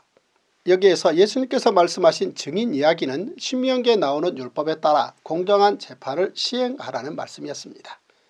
사람의 모든 악에 관하여 또한 모든 죄에 관하여는 한 증인으로만 정할 것이 아니요 두 증인의 입으로나 또는 세 증인의 입으로 그 사건을 확정할 것이며 만일 위증하는 자가 있어 어떤 사람이 악을 행하였다고 말하면 그 논쟁하는 쌍방이 같이 하나님 앞에 나아가 그 당시에 제사장과 재판장 앞에 설 것이요 재판장은 자세히 조사하여 그 증인이 거짓 증거하여 그 형제를 거짓으로 모함한 것이 판명되면 그가 그의 형제에게 행하려고 꾀한 그대로 그에게 행하여 너희 중에서 악을 제하라. 안나스는 이제 예수님을 그의 대제사장이며 사내들인 공회의 의장인 가야바에게로 보냅니다. 안나스가 예수를 결박한 그대로 대제사장 가야바에게 보내니라. 이 즈음 베드로가 또다시 예수님을 부인합니다. 시몬 베드로가 서서 불을 쬐더니 사람들이 묻되 너도 그 제자 중 하나가 아니냐 베드로가 부인하여 이르되 나는 아니라 하니 대제사장의 종 하나는 베드로에게 귀를 잘린 사람의 친척이라 이르되 내가 그 사람과 함께 동산에 있는 것을 내가 보지 아니하였느냐 이에 베드로가 또 부인하니 곧하기 울더라. 요한복음 외에 다른 복음서에서는 베드로가 예수님을 세 번째 부인할 때 예수님을 필요 이상으로 강하게 부인한 원인에 대해서 기록하지 않고 있습니다. 그런데 사도 요한은 베드로가 예수님을 그렇게까지 부인한 이유는 말고의 친척이 베드로를 알아보았기 때문이라고 설명하여 베드로를 조금은 두둔하며 기록한 느낌을 줍니다. 다른 복음서들의 기록입니다. 그가 저주하며 맹세하여 이르되 나는 그 사람을 알지 못하노라 하니 곧하기 울더라. 그러나 베드로가 저주하며 맹세하되 나는 너희가 말하는 이 사람을 알지 못하노라 하니 또한 마태 마가 누가 복음에는 말고의 귀를 차는 사람이 베드로라는 사실도 기록하지 않고 있습니다. 이는 요한복음 이전에 쓰인 복음서들이므로 당시 베드로가 혹시 그때의 죄로 위험이 있을 것을 걱정하며 신변 보호를 한 것으로 보입니다. 이후 요한은 그때의 일과 상관이 없게 되었을 때에 그 용감한 사람이 다름 아닌 바로 베드로였다는 사실을 정확하게 기록한 것으로 보입니다. 요한복음의 기록과 누가복음의 기록을 비교해 보면 다음과 같습니다. 먼저 요한복음의 기록입니다. 이에 시몬 베드로가 칼을 가졌는데 그것을 빼어 대제사장의 종을 쳐서 오른편 귀를 베어버리니 그 종의 이름은 말고라. 이어서 누가복음의 기록입니다. 그 중에 한 사람이 대제사장의 종을 쳐 그 오른쪽 귀를 떨어뜨린지라. 두 번째 포인트 예수님의 십자가에는 네 가지 배경이 있습니다. 예수님께서 로마의 사형 틀인 십자가에서 못 박혀 죽으신 것에는 네 가지 배경이 있습니다. 그 네 가지 배경은 다음과 같습니다. 첫째, 사내들인 공예 세력들이 예수님의 십자가 처형을 원했기 때문입니다. 페르시아 제국 때부터 유대 자치기구가 된 사내들인 공예는 페르시아 제국에 이어 헬라 제국과 로마 제국의 지배를 연거푸 계속 받았음에도 불구하고 그들은 예루살렘 성전을 중심으로 하는 종교 기득권과 유대 민족을 대표하는 자들로서 권력을 누리는 힘이 있는 자들이었습니다. 그들은 예루살렘 성전과 사내들인 공예재판을 통해 모세 율법을 가지고 유대 사회의 내부를 장악했으며 로마 제국 전역에 퍼져 있는 디아스포라 유대인들의 회당까지도 관리했습니다. 그런데 그들의 기득권을 계속 유지하기 위한 지지 기반인 유대 민중들이 예수님께로 가는 것을 두려워했습니다. 그들이 만약 서툴게 예수를 잡으면 예수님을 따르는 자들이 반기를 들어 밀란을 일으킬 수도 있다고 그들은 판단했습니다. 말하기를 밀란이 날까 하노니 명절에는 하지 말자 하더라. 대제사장들과 서기관들이 듣고 예수를 어떻게 죽일까 하고 꾀하니 이는 무리가 다 그의 교훈을 놀랍게 여김으로 그를 두려워함일라라. 둘째 로마 총독 빌라도는 처음에는 예수님의 십자가 처형을 원하지 않았지만 결국 그는 예수님의 십자가형을 명령했습니다. 빌라도는 예수님에 대한 사내들인 공예 세력들의 시기를 알고 있었습니다. 이는 그가 대제사장들이 시기로 예수를 넘겨준 줄 알미러라. 그리고 처음에는 예수님을 지지하는 민중들이 일으킬 수도 있는 밀란을 원치 않았습니다. 그러나 사내들인 공예 세력들이 매수한 군중들에 의해 예수를 십자가에 못 박지 않으면 밀란이 일어날 것을 오히려 우려한 빌라도는 결국 예수님의 십자가형을 언도하게 된 것입니다. 빌라도가 아무 성과도 없이 도리어 밀란이 나려는 것을 보고 물을 가져다가 무리 앞에서 손을 씻으며 이르되 이 사람의 피에 대하여 나는 무죄하니 너희가 당하라. 셋째 사탄의 배우가 있었습니다.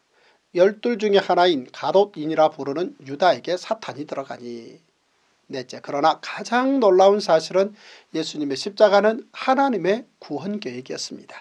하나님께서는 모든 인간들을 구원하시기 위해 하나님의 경륜으로 십자가를 하늘 지성소가 되게 하셨습니다.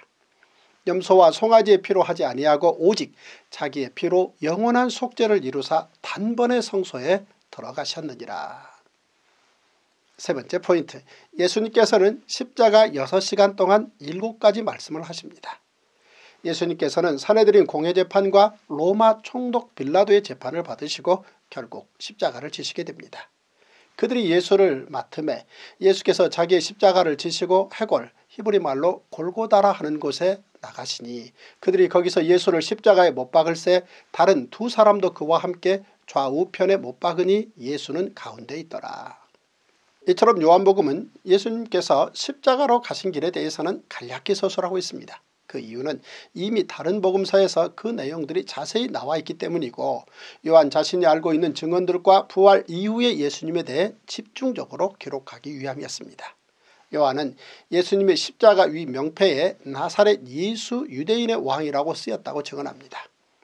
빌라도가 패를 써서 십자가 위에 붙이니 나사렛 예수 유대인의 왕이라 기록되었더라.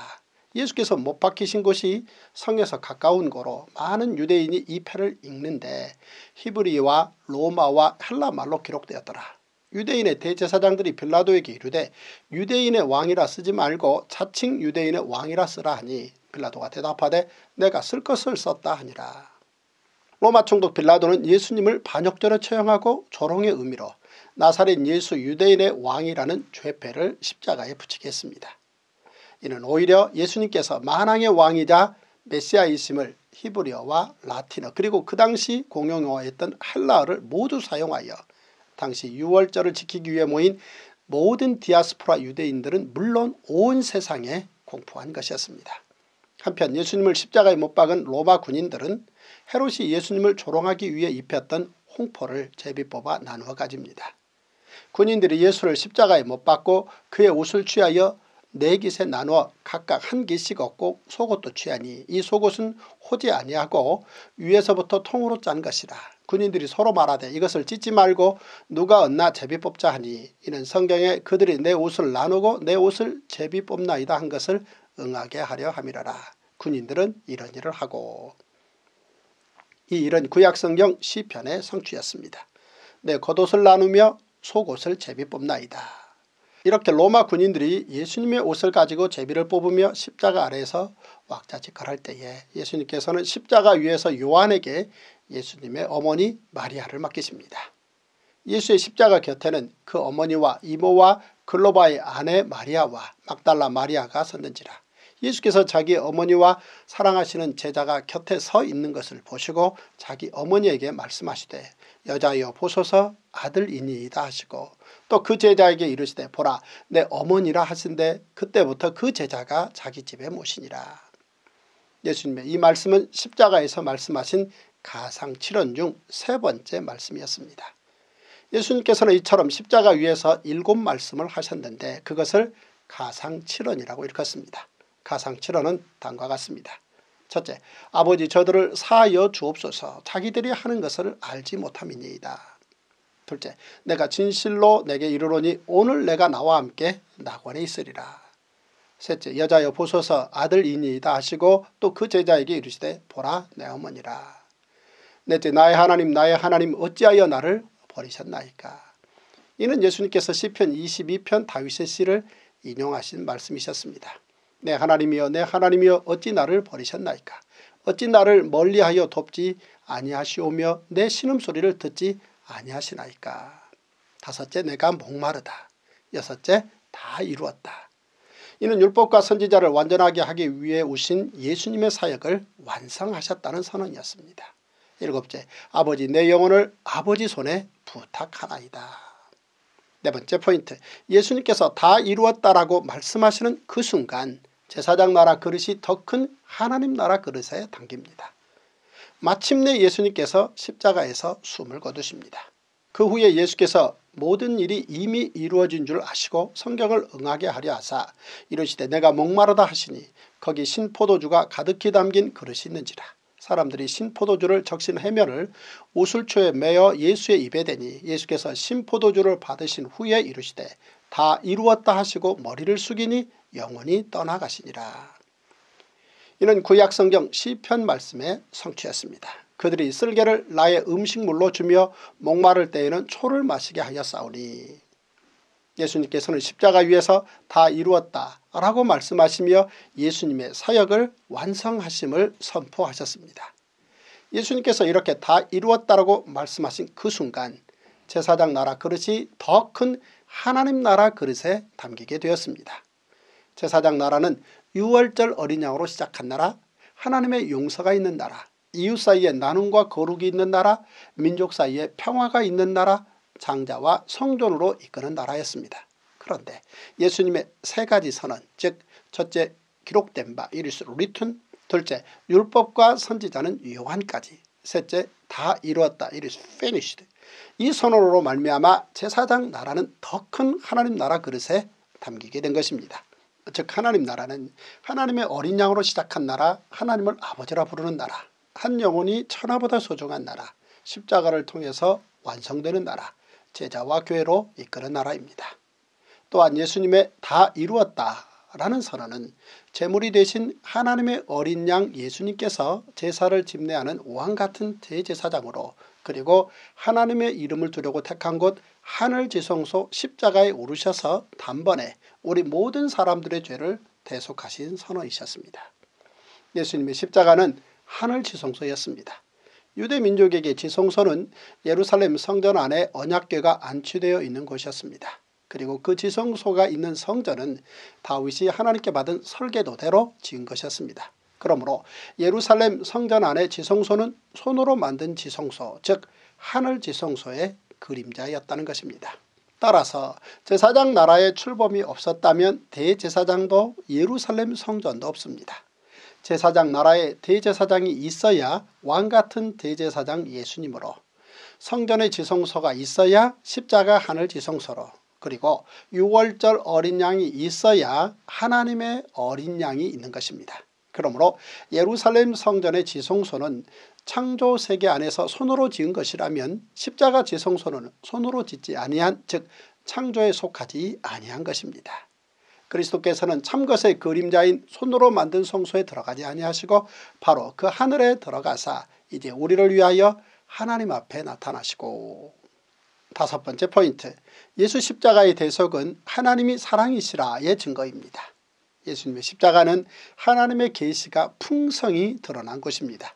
그리고 하나님의 이 계시는 하나님의 창조 질서의 범위와 그 범위를 능가합니다.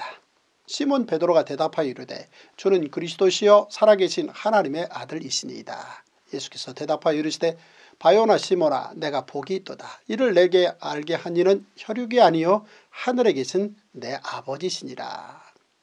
우리 주 예수 그리스도의 하나님 영광의 아버지께서 지혜와 계시의 영을 너희에게 주사 하나님을 알게 하시고 여기에서 계시는 거룩하신 창조주 하나님께서 자신과 자신의 뜻을 나타내시는 것을 읽었습니다.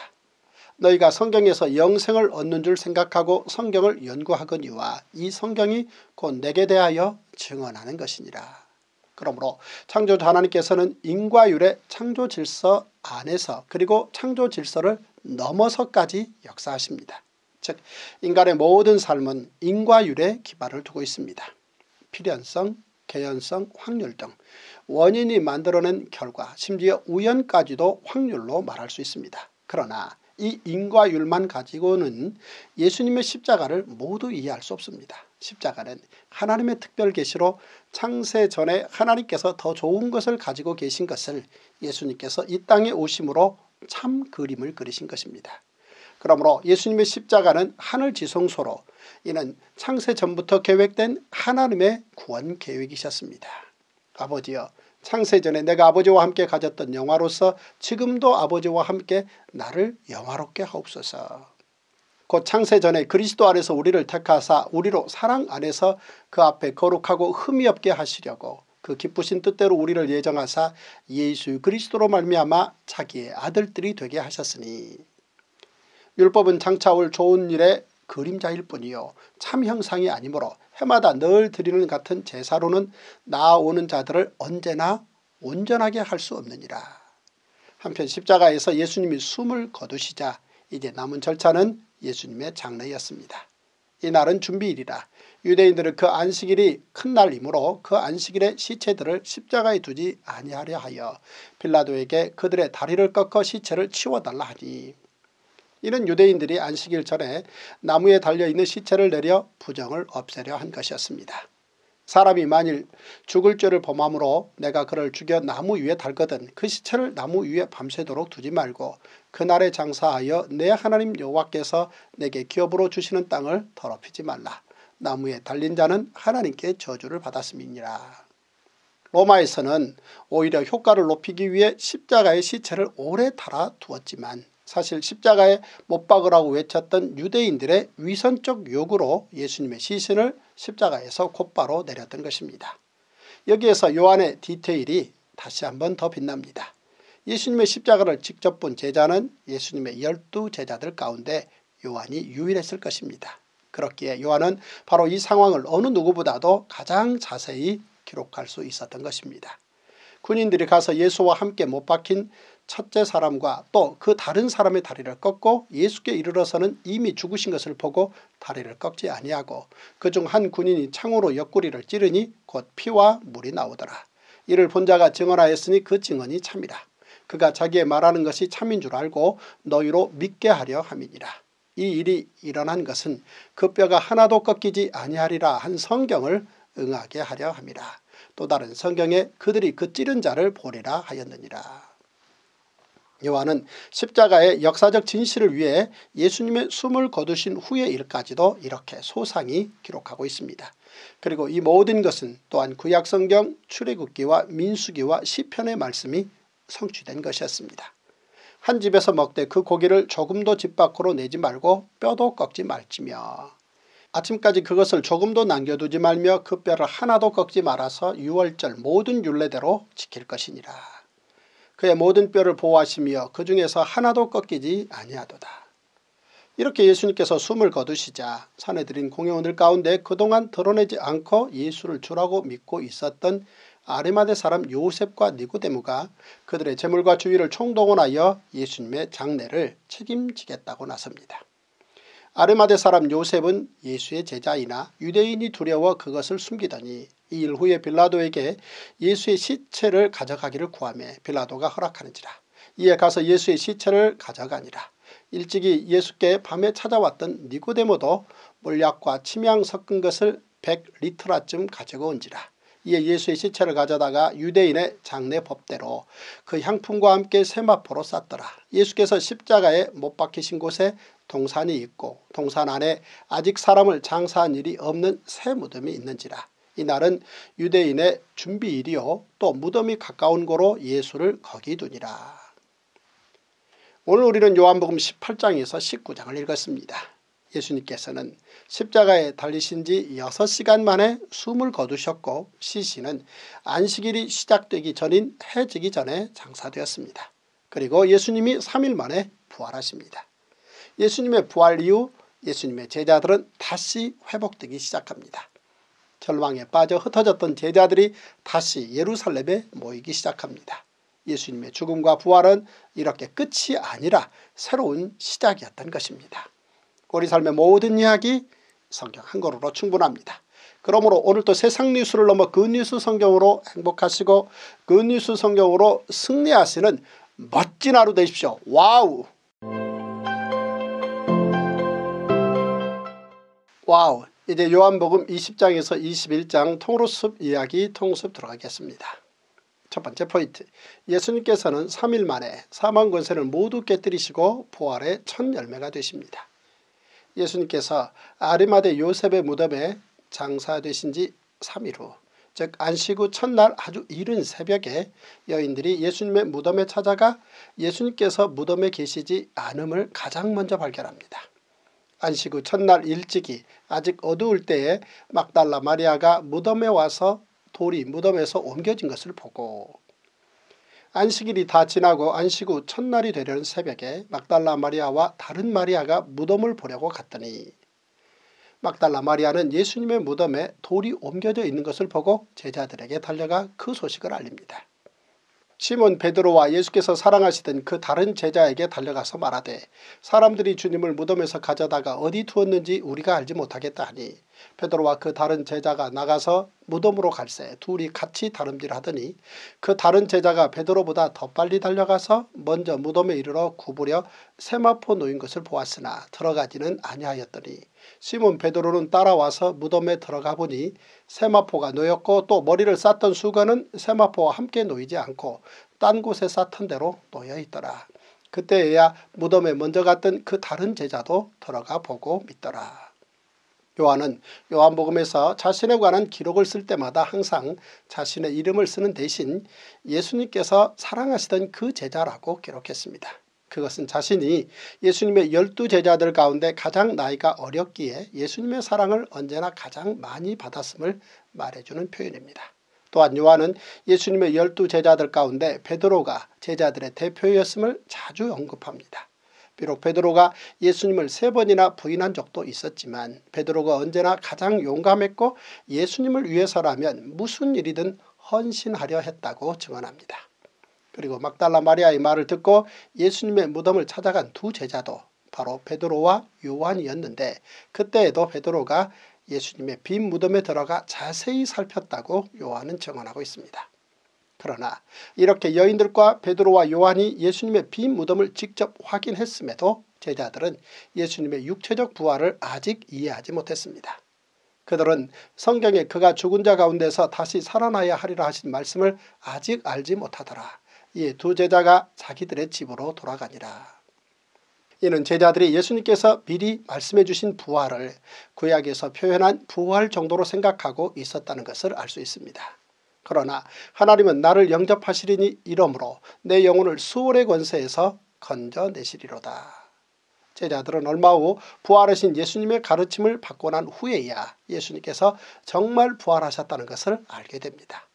또 이르시되 내가 너희와 함께 있을 때에 너희에게 말한 바 곧 모세의 율법과 선지자의 글과 시편에 나를 가리켜 기록된 모든 것이 이루어져야 하리라 한 말이 이것이라 하시고 이에 그들의 마음을 열어 성경을 깨닫게 하시고 또 이르시되 이같이 그리스도가 고난을 받고 제3일에 죽은 자 가운데서 살아날 것과 또 그의 이름으로 죄사함을 받게 하는 회개가 예루살렘에서 시작하여 모든 민족에게 전파될 것이 기록되었으니 너희는 이 모든 일의 증인이라.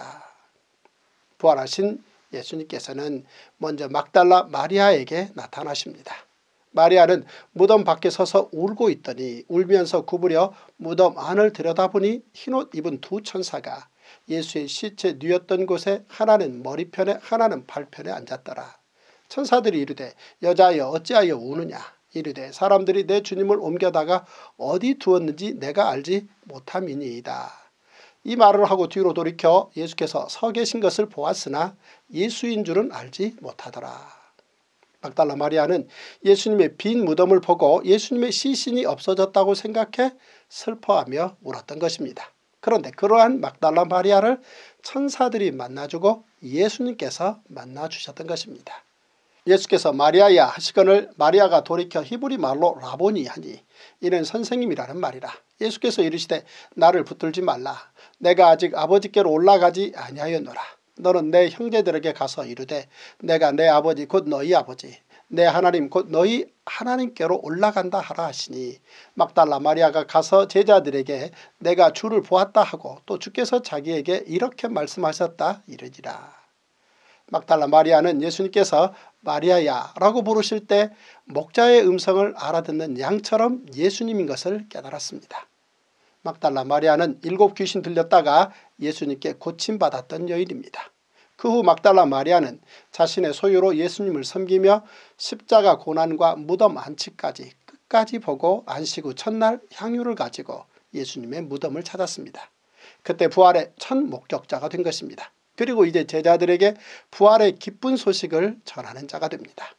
멀리서 바라보는 여인들도 있었는데 그 중에 막달라 마리아와 또 작은 야고보와 요새의 어머니 마리아와 또 살로메가 있었으니 막달라 마리아와 요새의 어머니 마리아가 예수 둔 곳을 보더니 이렇게 예수님께서는 3일 만에 어둠의 권세를 깨뜨리시고 부활의 첫 열매가 되십니다. 선하신 하나님의 아들은 결코 어두운 세력의 생각대로 그렇게 끝나지 않으십니다. 아무 흠도 죄도 없으신 분이 죽으셨다가 마침내 사망 권세를 이기시고 부활하셨습니다. 인간들을 위해 당신의 독생자를 공의 십자가에 세우신 하나님. 그 뜻에 순종하여 고통의 십자가를 지셨지만 죽음을 이기고 승리하신 예수님. 이로써 모든 사람은 새로운 능력 안에서 새 생명을 얻었습니다. 예수님의 부활 사건이야말로 성경 전체에서 가장 위대하고 아름다운 장면입니다. 오직 예수님의 부활이 우리가 노래해야 할 진정한 승리, 가장 영원한 승리입니다. 두 번째 포인트 예수님께서는 3년 동안 늘 함께했던 제자들을 3일 만에 다시 만나십니다. 드디어 부활하신 예수님께서 제자들을 만나십니다.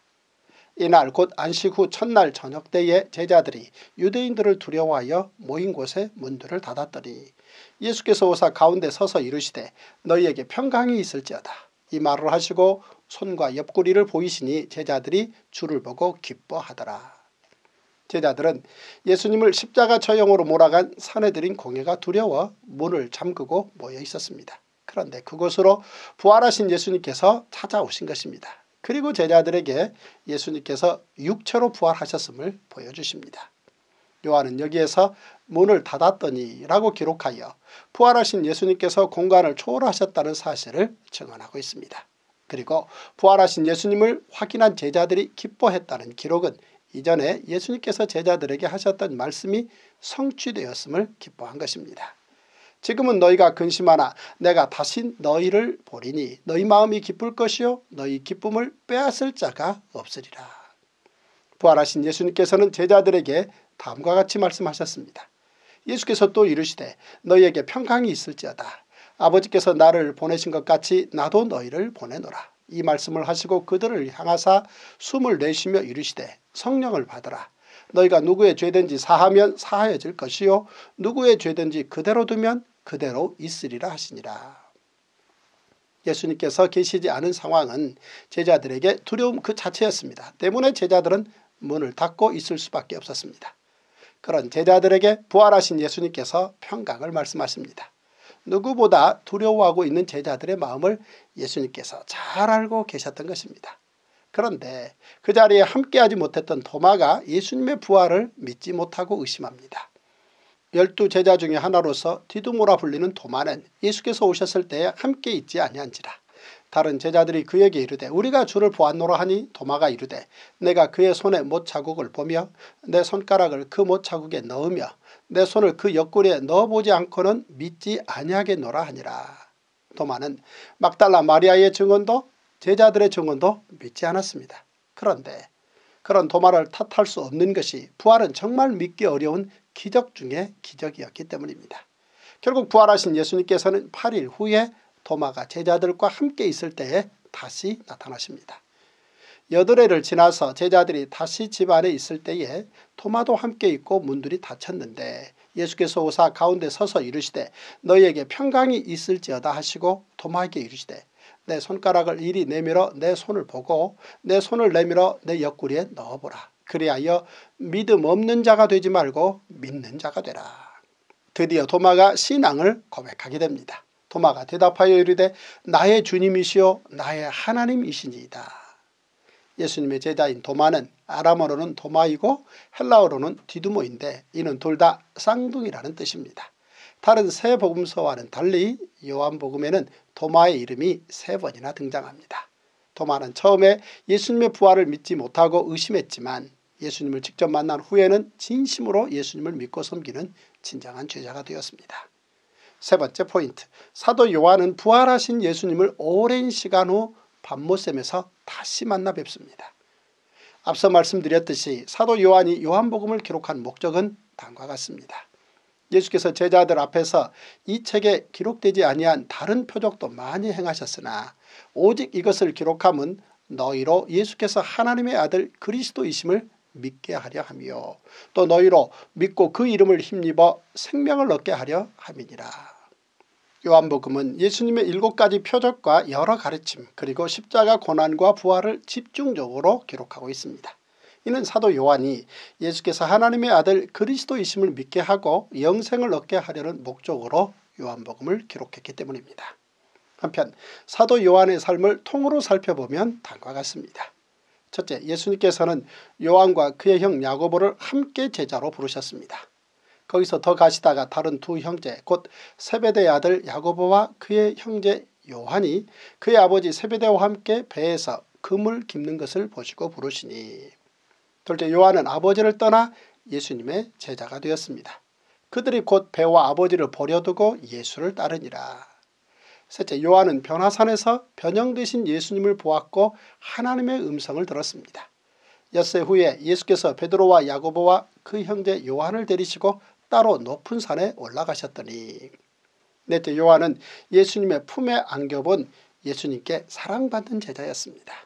베드로가 돌이켜 예수께서 사랑하시는 그 제자가 따르는 것을 보니 그는 만찬석에서 예수의 품에 의지하여 주님 주님을 파는 자가 누구 오니까 묻던 자더라.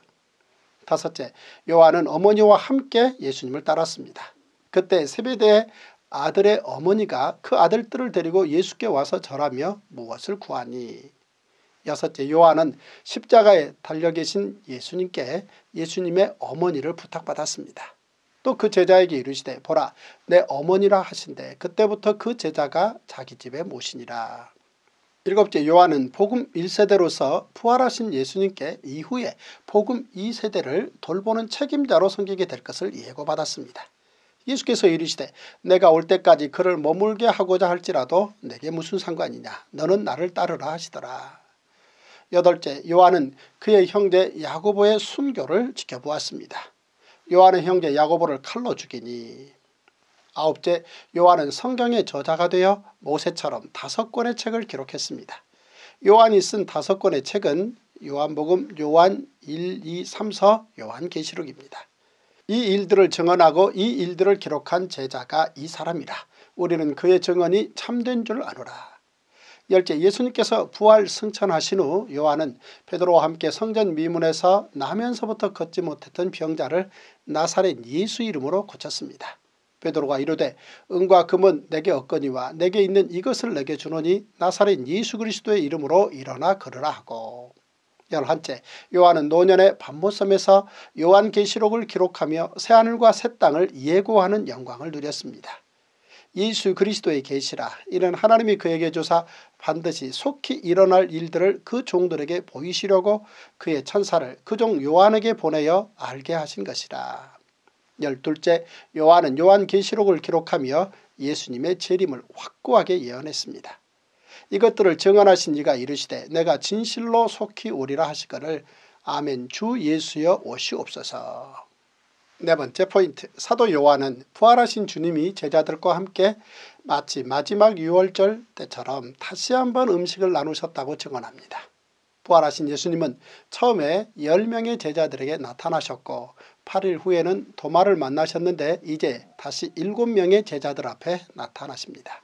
그 후에 예수께서 테베리아 호수에서 또 제자들에게 자기를 나타내셨으니 나타내신 일은 이러하니라. 시몬 베드로와 디두모라 하는 도마와 갈릴리 가나 사람 나다나일과 세베대의 아들들과 또 다른 제자 둘이 함께 있더니 시몬 베드로가 나는 물고기 잡으러 가노라 하니 그들이 우리도 함께 가겠다 하고 나가서 배에 올랐으나 그날 밤에 아무것도 잡지 못하였더니 날이 새어갈 때에 예수께서 바닷가에 서섰으나 제자들이 예수인 줄 알지 못하는지라. 요한복음은 20장으로 일단락 되었으나 요한복음 21장은 후일에 예수님의 부활에 대한 추가 설명과 초기 교회의 중요한 지도자였던 베드로를 비롯한 제자들이 사도로 완전히 회복되었다는 것과 예수님의 재림을 설명하기 위해 덧붙인 것으로 추정됩니다. 예수님께서는 일곱 명의 제자들 앞에 다시 나타나셨습니다. 베드로, 도마, 나다나엘, 야고보, 요한 그리고 두 제자입니다. 그때 제자들은 예수님의 말씀대로 갈릴리에서 함께 모여 있었습니다. 그러나 내가 살아난 후에 너희보다 먼저 갈릴리로 가리라. 제자들이 그때 고기 잡으러 간 것은 그들의 과거의 생업이었던 업으로 완전히 돌아간 것은 아니었을 것입니다. 왜냐하면 그 일곱 명 가운데 어부 출신이 아닌 제자들도 함께 있었기 때문입니다. 제자들이 고기를 잡기 위해 갈릴리 바다로 나갔으나 그들은 밤이 새도록 고기를 한 마리도 잡지 못했습니다. 그때 예수님께서 그곳에 찾아오셨습니다. 그러나 제자들은 알아보지 못했습니다. 예수께서 이르시되 얘들아 너희에게 고기가 있느냐 대답하되 없나이다. 이르시되 그물을 배 오른편에 던지라. 그리하면 잡으리라 하시니 이에 던졌더니 물고기가 많아 그물을 들 수 없더라. 예수께서 사랑하시는 그 제자가 베드로에게 이르되 주님이시라 하니 시몬 베드로가 벗고 있다가 주님이라 하는 말을 듣고 겉옷을 두른 후에 바다로 뛰어 내리더라. 이렇게 부활하신 예수님께서는 예루살렘이 아니라 갈릴리에서 제자들을 다시 만나셨습니다. 이는 예수님께서 부활 직후 여인들에게 제자들을 갈릴리로 가게 하라고 말씀하셨기 때문입니다. 또한 예수님께서는 사내들인 공회에 잡히시던 날에도 이미 제자들에게 부활 후 갈릴리에서 만날 것을 말씀하신 적이 있으십니다. 예수님께서는 십자가를 지고 죽으시게 되면 제자들이 모두 흩어질 것을 다 알고 계셨던 것입니다. 그리고 전에 말씀하셨듯이 그들을 친히 찾아가신 것입니다. 갈릴리 바다에서 예수님을 다시 만나게 된 제자들이 아직 예수님을 알아보지 못하고 있을 때에 요한이 가만히 보더니 주님이시라 라고 말합니다. 그러자 요한의 그 말을 듣자마자 베드로가 겉옷을 두르더니 바다로 뛰어내립니다. 보통 사람이었다면 예수님을 다시 만나게 되었을 때 꾸물거리면서 제일 늦게 갈 만도 합니다. 바로 얼마 전에 예수님을 모른다고 부인했던 부끄러움 때문일 것입니다. 그러나 베드로는 가장 먼저 뛰어가서 예수님을 만납니다. 베드로는 지난 3년 동안의 경험을 통해 예수님이 어떤 분이신지를 알게 된 것입니다. 예수님은 자신 같은 죄인을 부르러 오셨다는 사실 아무리 큰 죄를 지은 사람이라도 한없는 사랑으로 품어주시고 용서해 주신다는 사실을 이제 베드로가 확실하게 알게 된 것입니다. 마치 누가복음의 탕자 비유처럼 탕자를 사랑하시는 아버지의 마음이 하나님의 마음이고 예수님의 마음임을 그 당시 베드로는 기억하고 있었을 것입니다. 그래서 한없이 부끄러운 자신의 과거에도 불구하고 두 팔 벌려 자신을 기다려주시는 예수님 앞으로 베드로는 용기를 내어 달려갔던 것입니다. 이제 예수님께서는 일곱 명의 제자들과 함께 조반을 드십니다. 다른 제자들은 육지에서 거리가 불과 한 50칸쯤 되므로 작은 배를 타고 물고기 든 그물을 끌고 와서 육지에 올라보니 숯불이 있는데 그 위에 생선이 놓였고 떡도 있더라. 예수께서 이르시되 지금 잡은 생선을 좀 가져오라 하시니 시몬 베드로가 올라가서 그물을 육지에 끌어올리니 가득히 찬 큰 물고기가 153마리라. 이같이 많으나 그물이 찢어지지 아니하였더라. 예수께서 이르시되 와서 조발을 먹으라 하시니 제자들이 주님이신 줄 아는 거로 당신이 누구냐 감히 묻는 자가 없더라. 예수께서 가셔서 떡을 가져다가 그들에게 주시고 생선도 그와 같이 하시니라. 이것은 예수께서 죽은 자 가운데서 살아나신 후에 세 번째로 제자들에게 나타나신 것이라. 이는 마치 이전 십자가를 지시기 전날 밤 제자들과 함께 마지막 6월절을 첫 번째 성찬식으로 보내셨던 예수님께서는 이처럼 부활하신 후에도 예수님의 죽음으로 인해 상심과 절망 가운데 빠져있는 제자들에게 다시 힘을 주시기 위해 직접 제자들을 찾아가셔서 함께 식사하셨던 것입니다. 부활하신 예수님께서 티베리아 호숫가에서 숯불을 지펴 생선과 떡을 준비해 놓으시고 제자들을 식사에 초대하신 것입니다. 예수님께서는 언제나 제자들과 함께 먹기를 원하고 원하셨습니다. 예수님께서는 이렇게 제자들의 부끄러움을 덮으시고 다시 새로운 관계를 시작하신 것입니다. 다섯 번째 포인트 사도 요한은 예수님께서 조발을 드신 후 베드로와 자신에게 사명을 보여하셨다고 증언합니다. 일곱 명의 제자들과 조발을 함께 드신 예수님께서 베드로와 요한에게 사명을 주십니다. 먼저 베드로에게 주신 사명입니다. 그들이 조반 먹은 후에 예수께서 시몬 베드로에게 이르시되 요한의 아들 시몬아 내가 이 사람들보다 나를 더 사랑하느냐 하시니 이르되 주님 그러하나이다. 내가 주님을 사랑하는 줄 주님께서 아시나이다. 이르시되 내 양을 먹이라 하시고 이때 예수님께서는 반석이라는 뜻의 베드로가 아닌 요한의 아들 시몬아 라고 부르셨습니다. 이는 베드로에게 다시 시작하는 용기를 주시며 내 어린 양을 먹이라는 사명을 주시기 위함이었습니다. 요한이 이 사건을 잊지 않고 기록한 것은 초기 교회의 리더인 사도 베드로의 권위 회복과 그의 위치를 더욱 튼튼히 하기 위함이었을 것입니다. 또 두 번째 이르시되 요한의 아들 시모나 내가 나를 사랑하느냐 하시니 이르되 주님 그러하나이다. 내가 주님을 사랑하는 줄 주님께서 아시나이다. 이르시되 내 양을 치라 하시고 예수님께서는 베드로에게 세 번째 다시 한번 사명을 말씀하십니다. 세 번째 이르시되 요한의 아들 시모나 내가 나를 사랑하느냐 하시니 주께서 세 번째 내가 나를 사랑하느냐 하심으로 베드로가 근심하여 이르되 주님 모든 것을 아시오며 내가 주님을 사랑하는 줄을 주님께서 아시나이다. 예수께서 이르시되 내 양을 먹이라. 내가 진실로 진실로 내게 이르노니 내가 젊어서는 스스로 띠뛰고 원하는 곳으로 다녔거니와 늙어서는 내 팔을 벌리리니 남이 내게 띠띠우고 원하지 아니하는 곳으로 데려가리라. 이 말씀을 하시면 베드로가 어떠한 죽음으로 하나님께 영광을 돌릴 것을 가리키심이라라. 이 말씀을 하시고 베드로에게 이르시되 나를 따르라 하시니 예수님께서는 세 번에 걸쳐 베드로에게 사명을 확인하신 후 베드로의 죽음에 대해 말씀하셨습니다. 이후 로마 대화제 사건 때 레로 황제가 기독교 지도자들을 처형하게 되는데 그때 베드로가 순교할 것을 미리 말씀하신 것이었습니다. 시몬 베드로가 이르되 주여 어디로 가시나이까 예수께서 대답하시되 내가 가는 곳에 내가 지금은 따라올 수 없으나 후에는 따라오리라. 이렇게 부활하신 예수님께서는 베드로에게 사명을 주시고 베드로가 후에 죽음으로 하나님께 영광을 돌릴 것을 말씀하셨습니다. 그러자 베드로가 예수님께 요한에 대해서 묻습니다. 베드로가 돌이켜 예수께서 사랑하시는 그 제자가 따르는 것을 보니 그는 만찬석에서 예수의 품에 의지하여 주님 주님을 파는 자가 누구오니까 묻던 자더라. 이에 베드로가 그를 보고 예수께 여짜오되 주님 이 사람은 어떻게 되겠사옵나이까 예수께서 이르시되 내가 올 때까지 그를 머물게 하고자 할지라도 내게 무슨 상관이냐 너는 나를 따르라 하시더라. 이 말씀이 형제들에게 나가서 그 제자는 죽지 아니하겠다 하였으나 예수의 말씀은 그가 죽지 않겠다 하신 것이 아니라 내가 올 때까지 그를 머물게 하고자 할지라도 내게 무슨 상관이냐 하신 것이라라. 이제 사복음서의 대장정이자 요한복음의 마지막은 다음과 같이 끝을 맺습니다. 이 일들을 증언하고 이 일들을 기록한 제자가 이 사람이라. 우리는 그의 증언이 참된 줄 아노라. 예수께서 행하신 일이 이 외에도 많으니 만일 낱낱이 기록된다면 이 세상이라도 이 기록된 책을 두기에 부족할 줄 아노라. 오늘 우리는 요한복음 20장에서 21장을 읽었습니다. 부활하신 예수님께서 베드로를 찾아가셨습니다. 십자가로 끌려가시는 예수님을 외면하며 예수님을 모른다고 세 번이나 부인했던 베드로입니다. 그런데 그 베드로에게 부활하신 예수님께서 찾아가신 것입니다. 어깨를 늘어뜨리고 힘없이 그물을 던지고 있는 베드로. 예수님께서는 그런 베드로에게 위로를 주시고 새 힘을 주셨습니다. 그리고 다시금 베드로에게 사명을 주셨습니다. 내 양을 먹이라. 내 양을 치라. 내 양을 먹이라.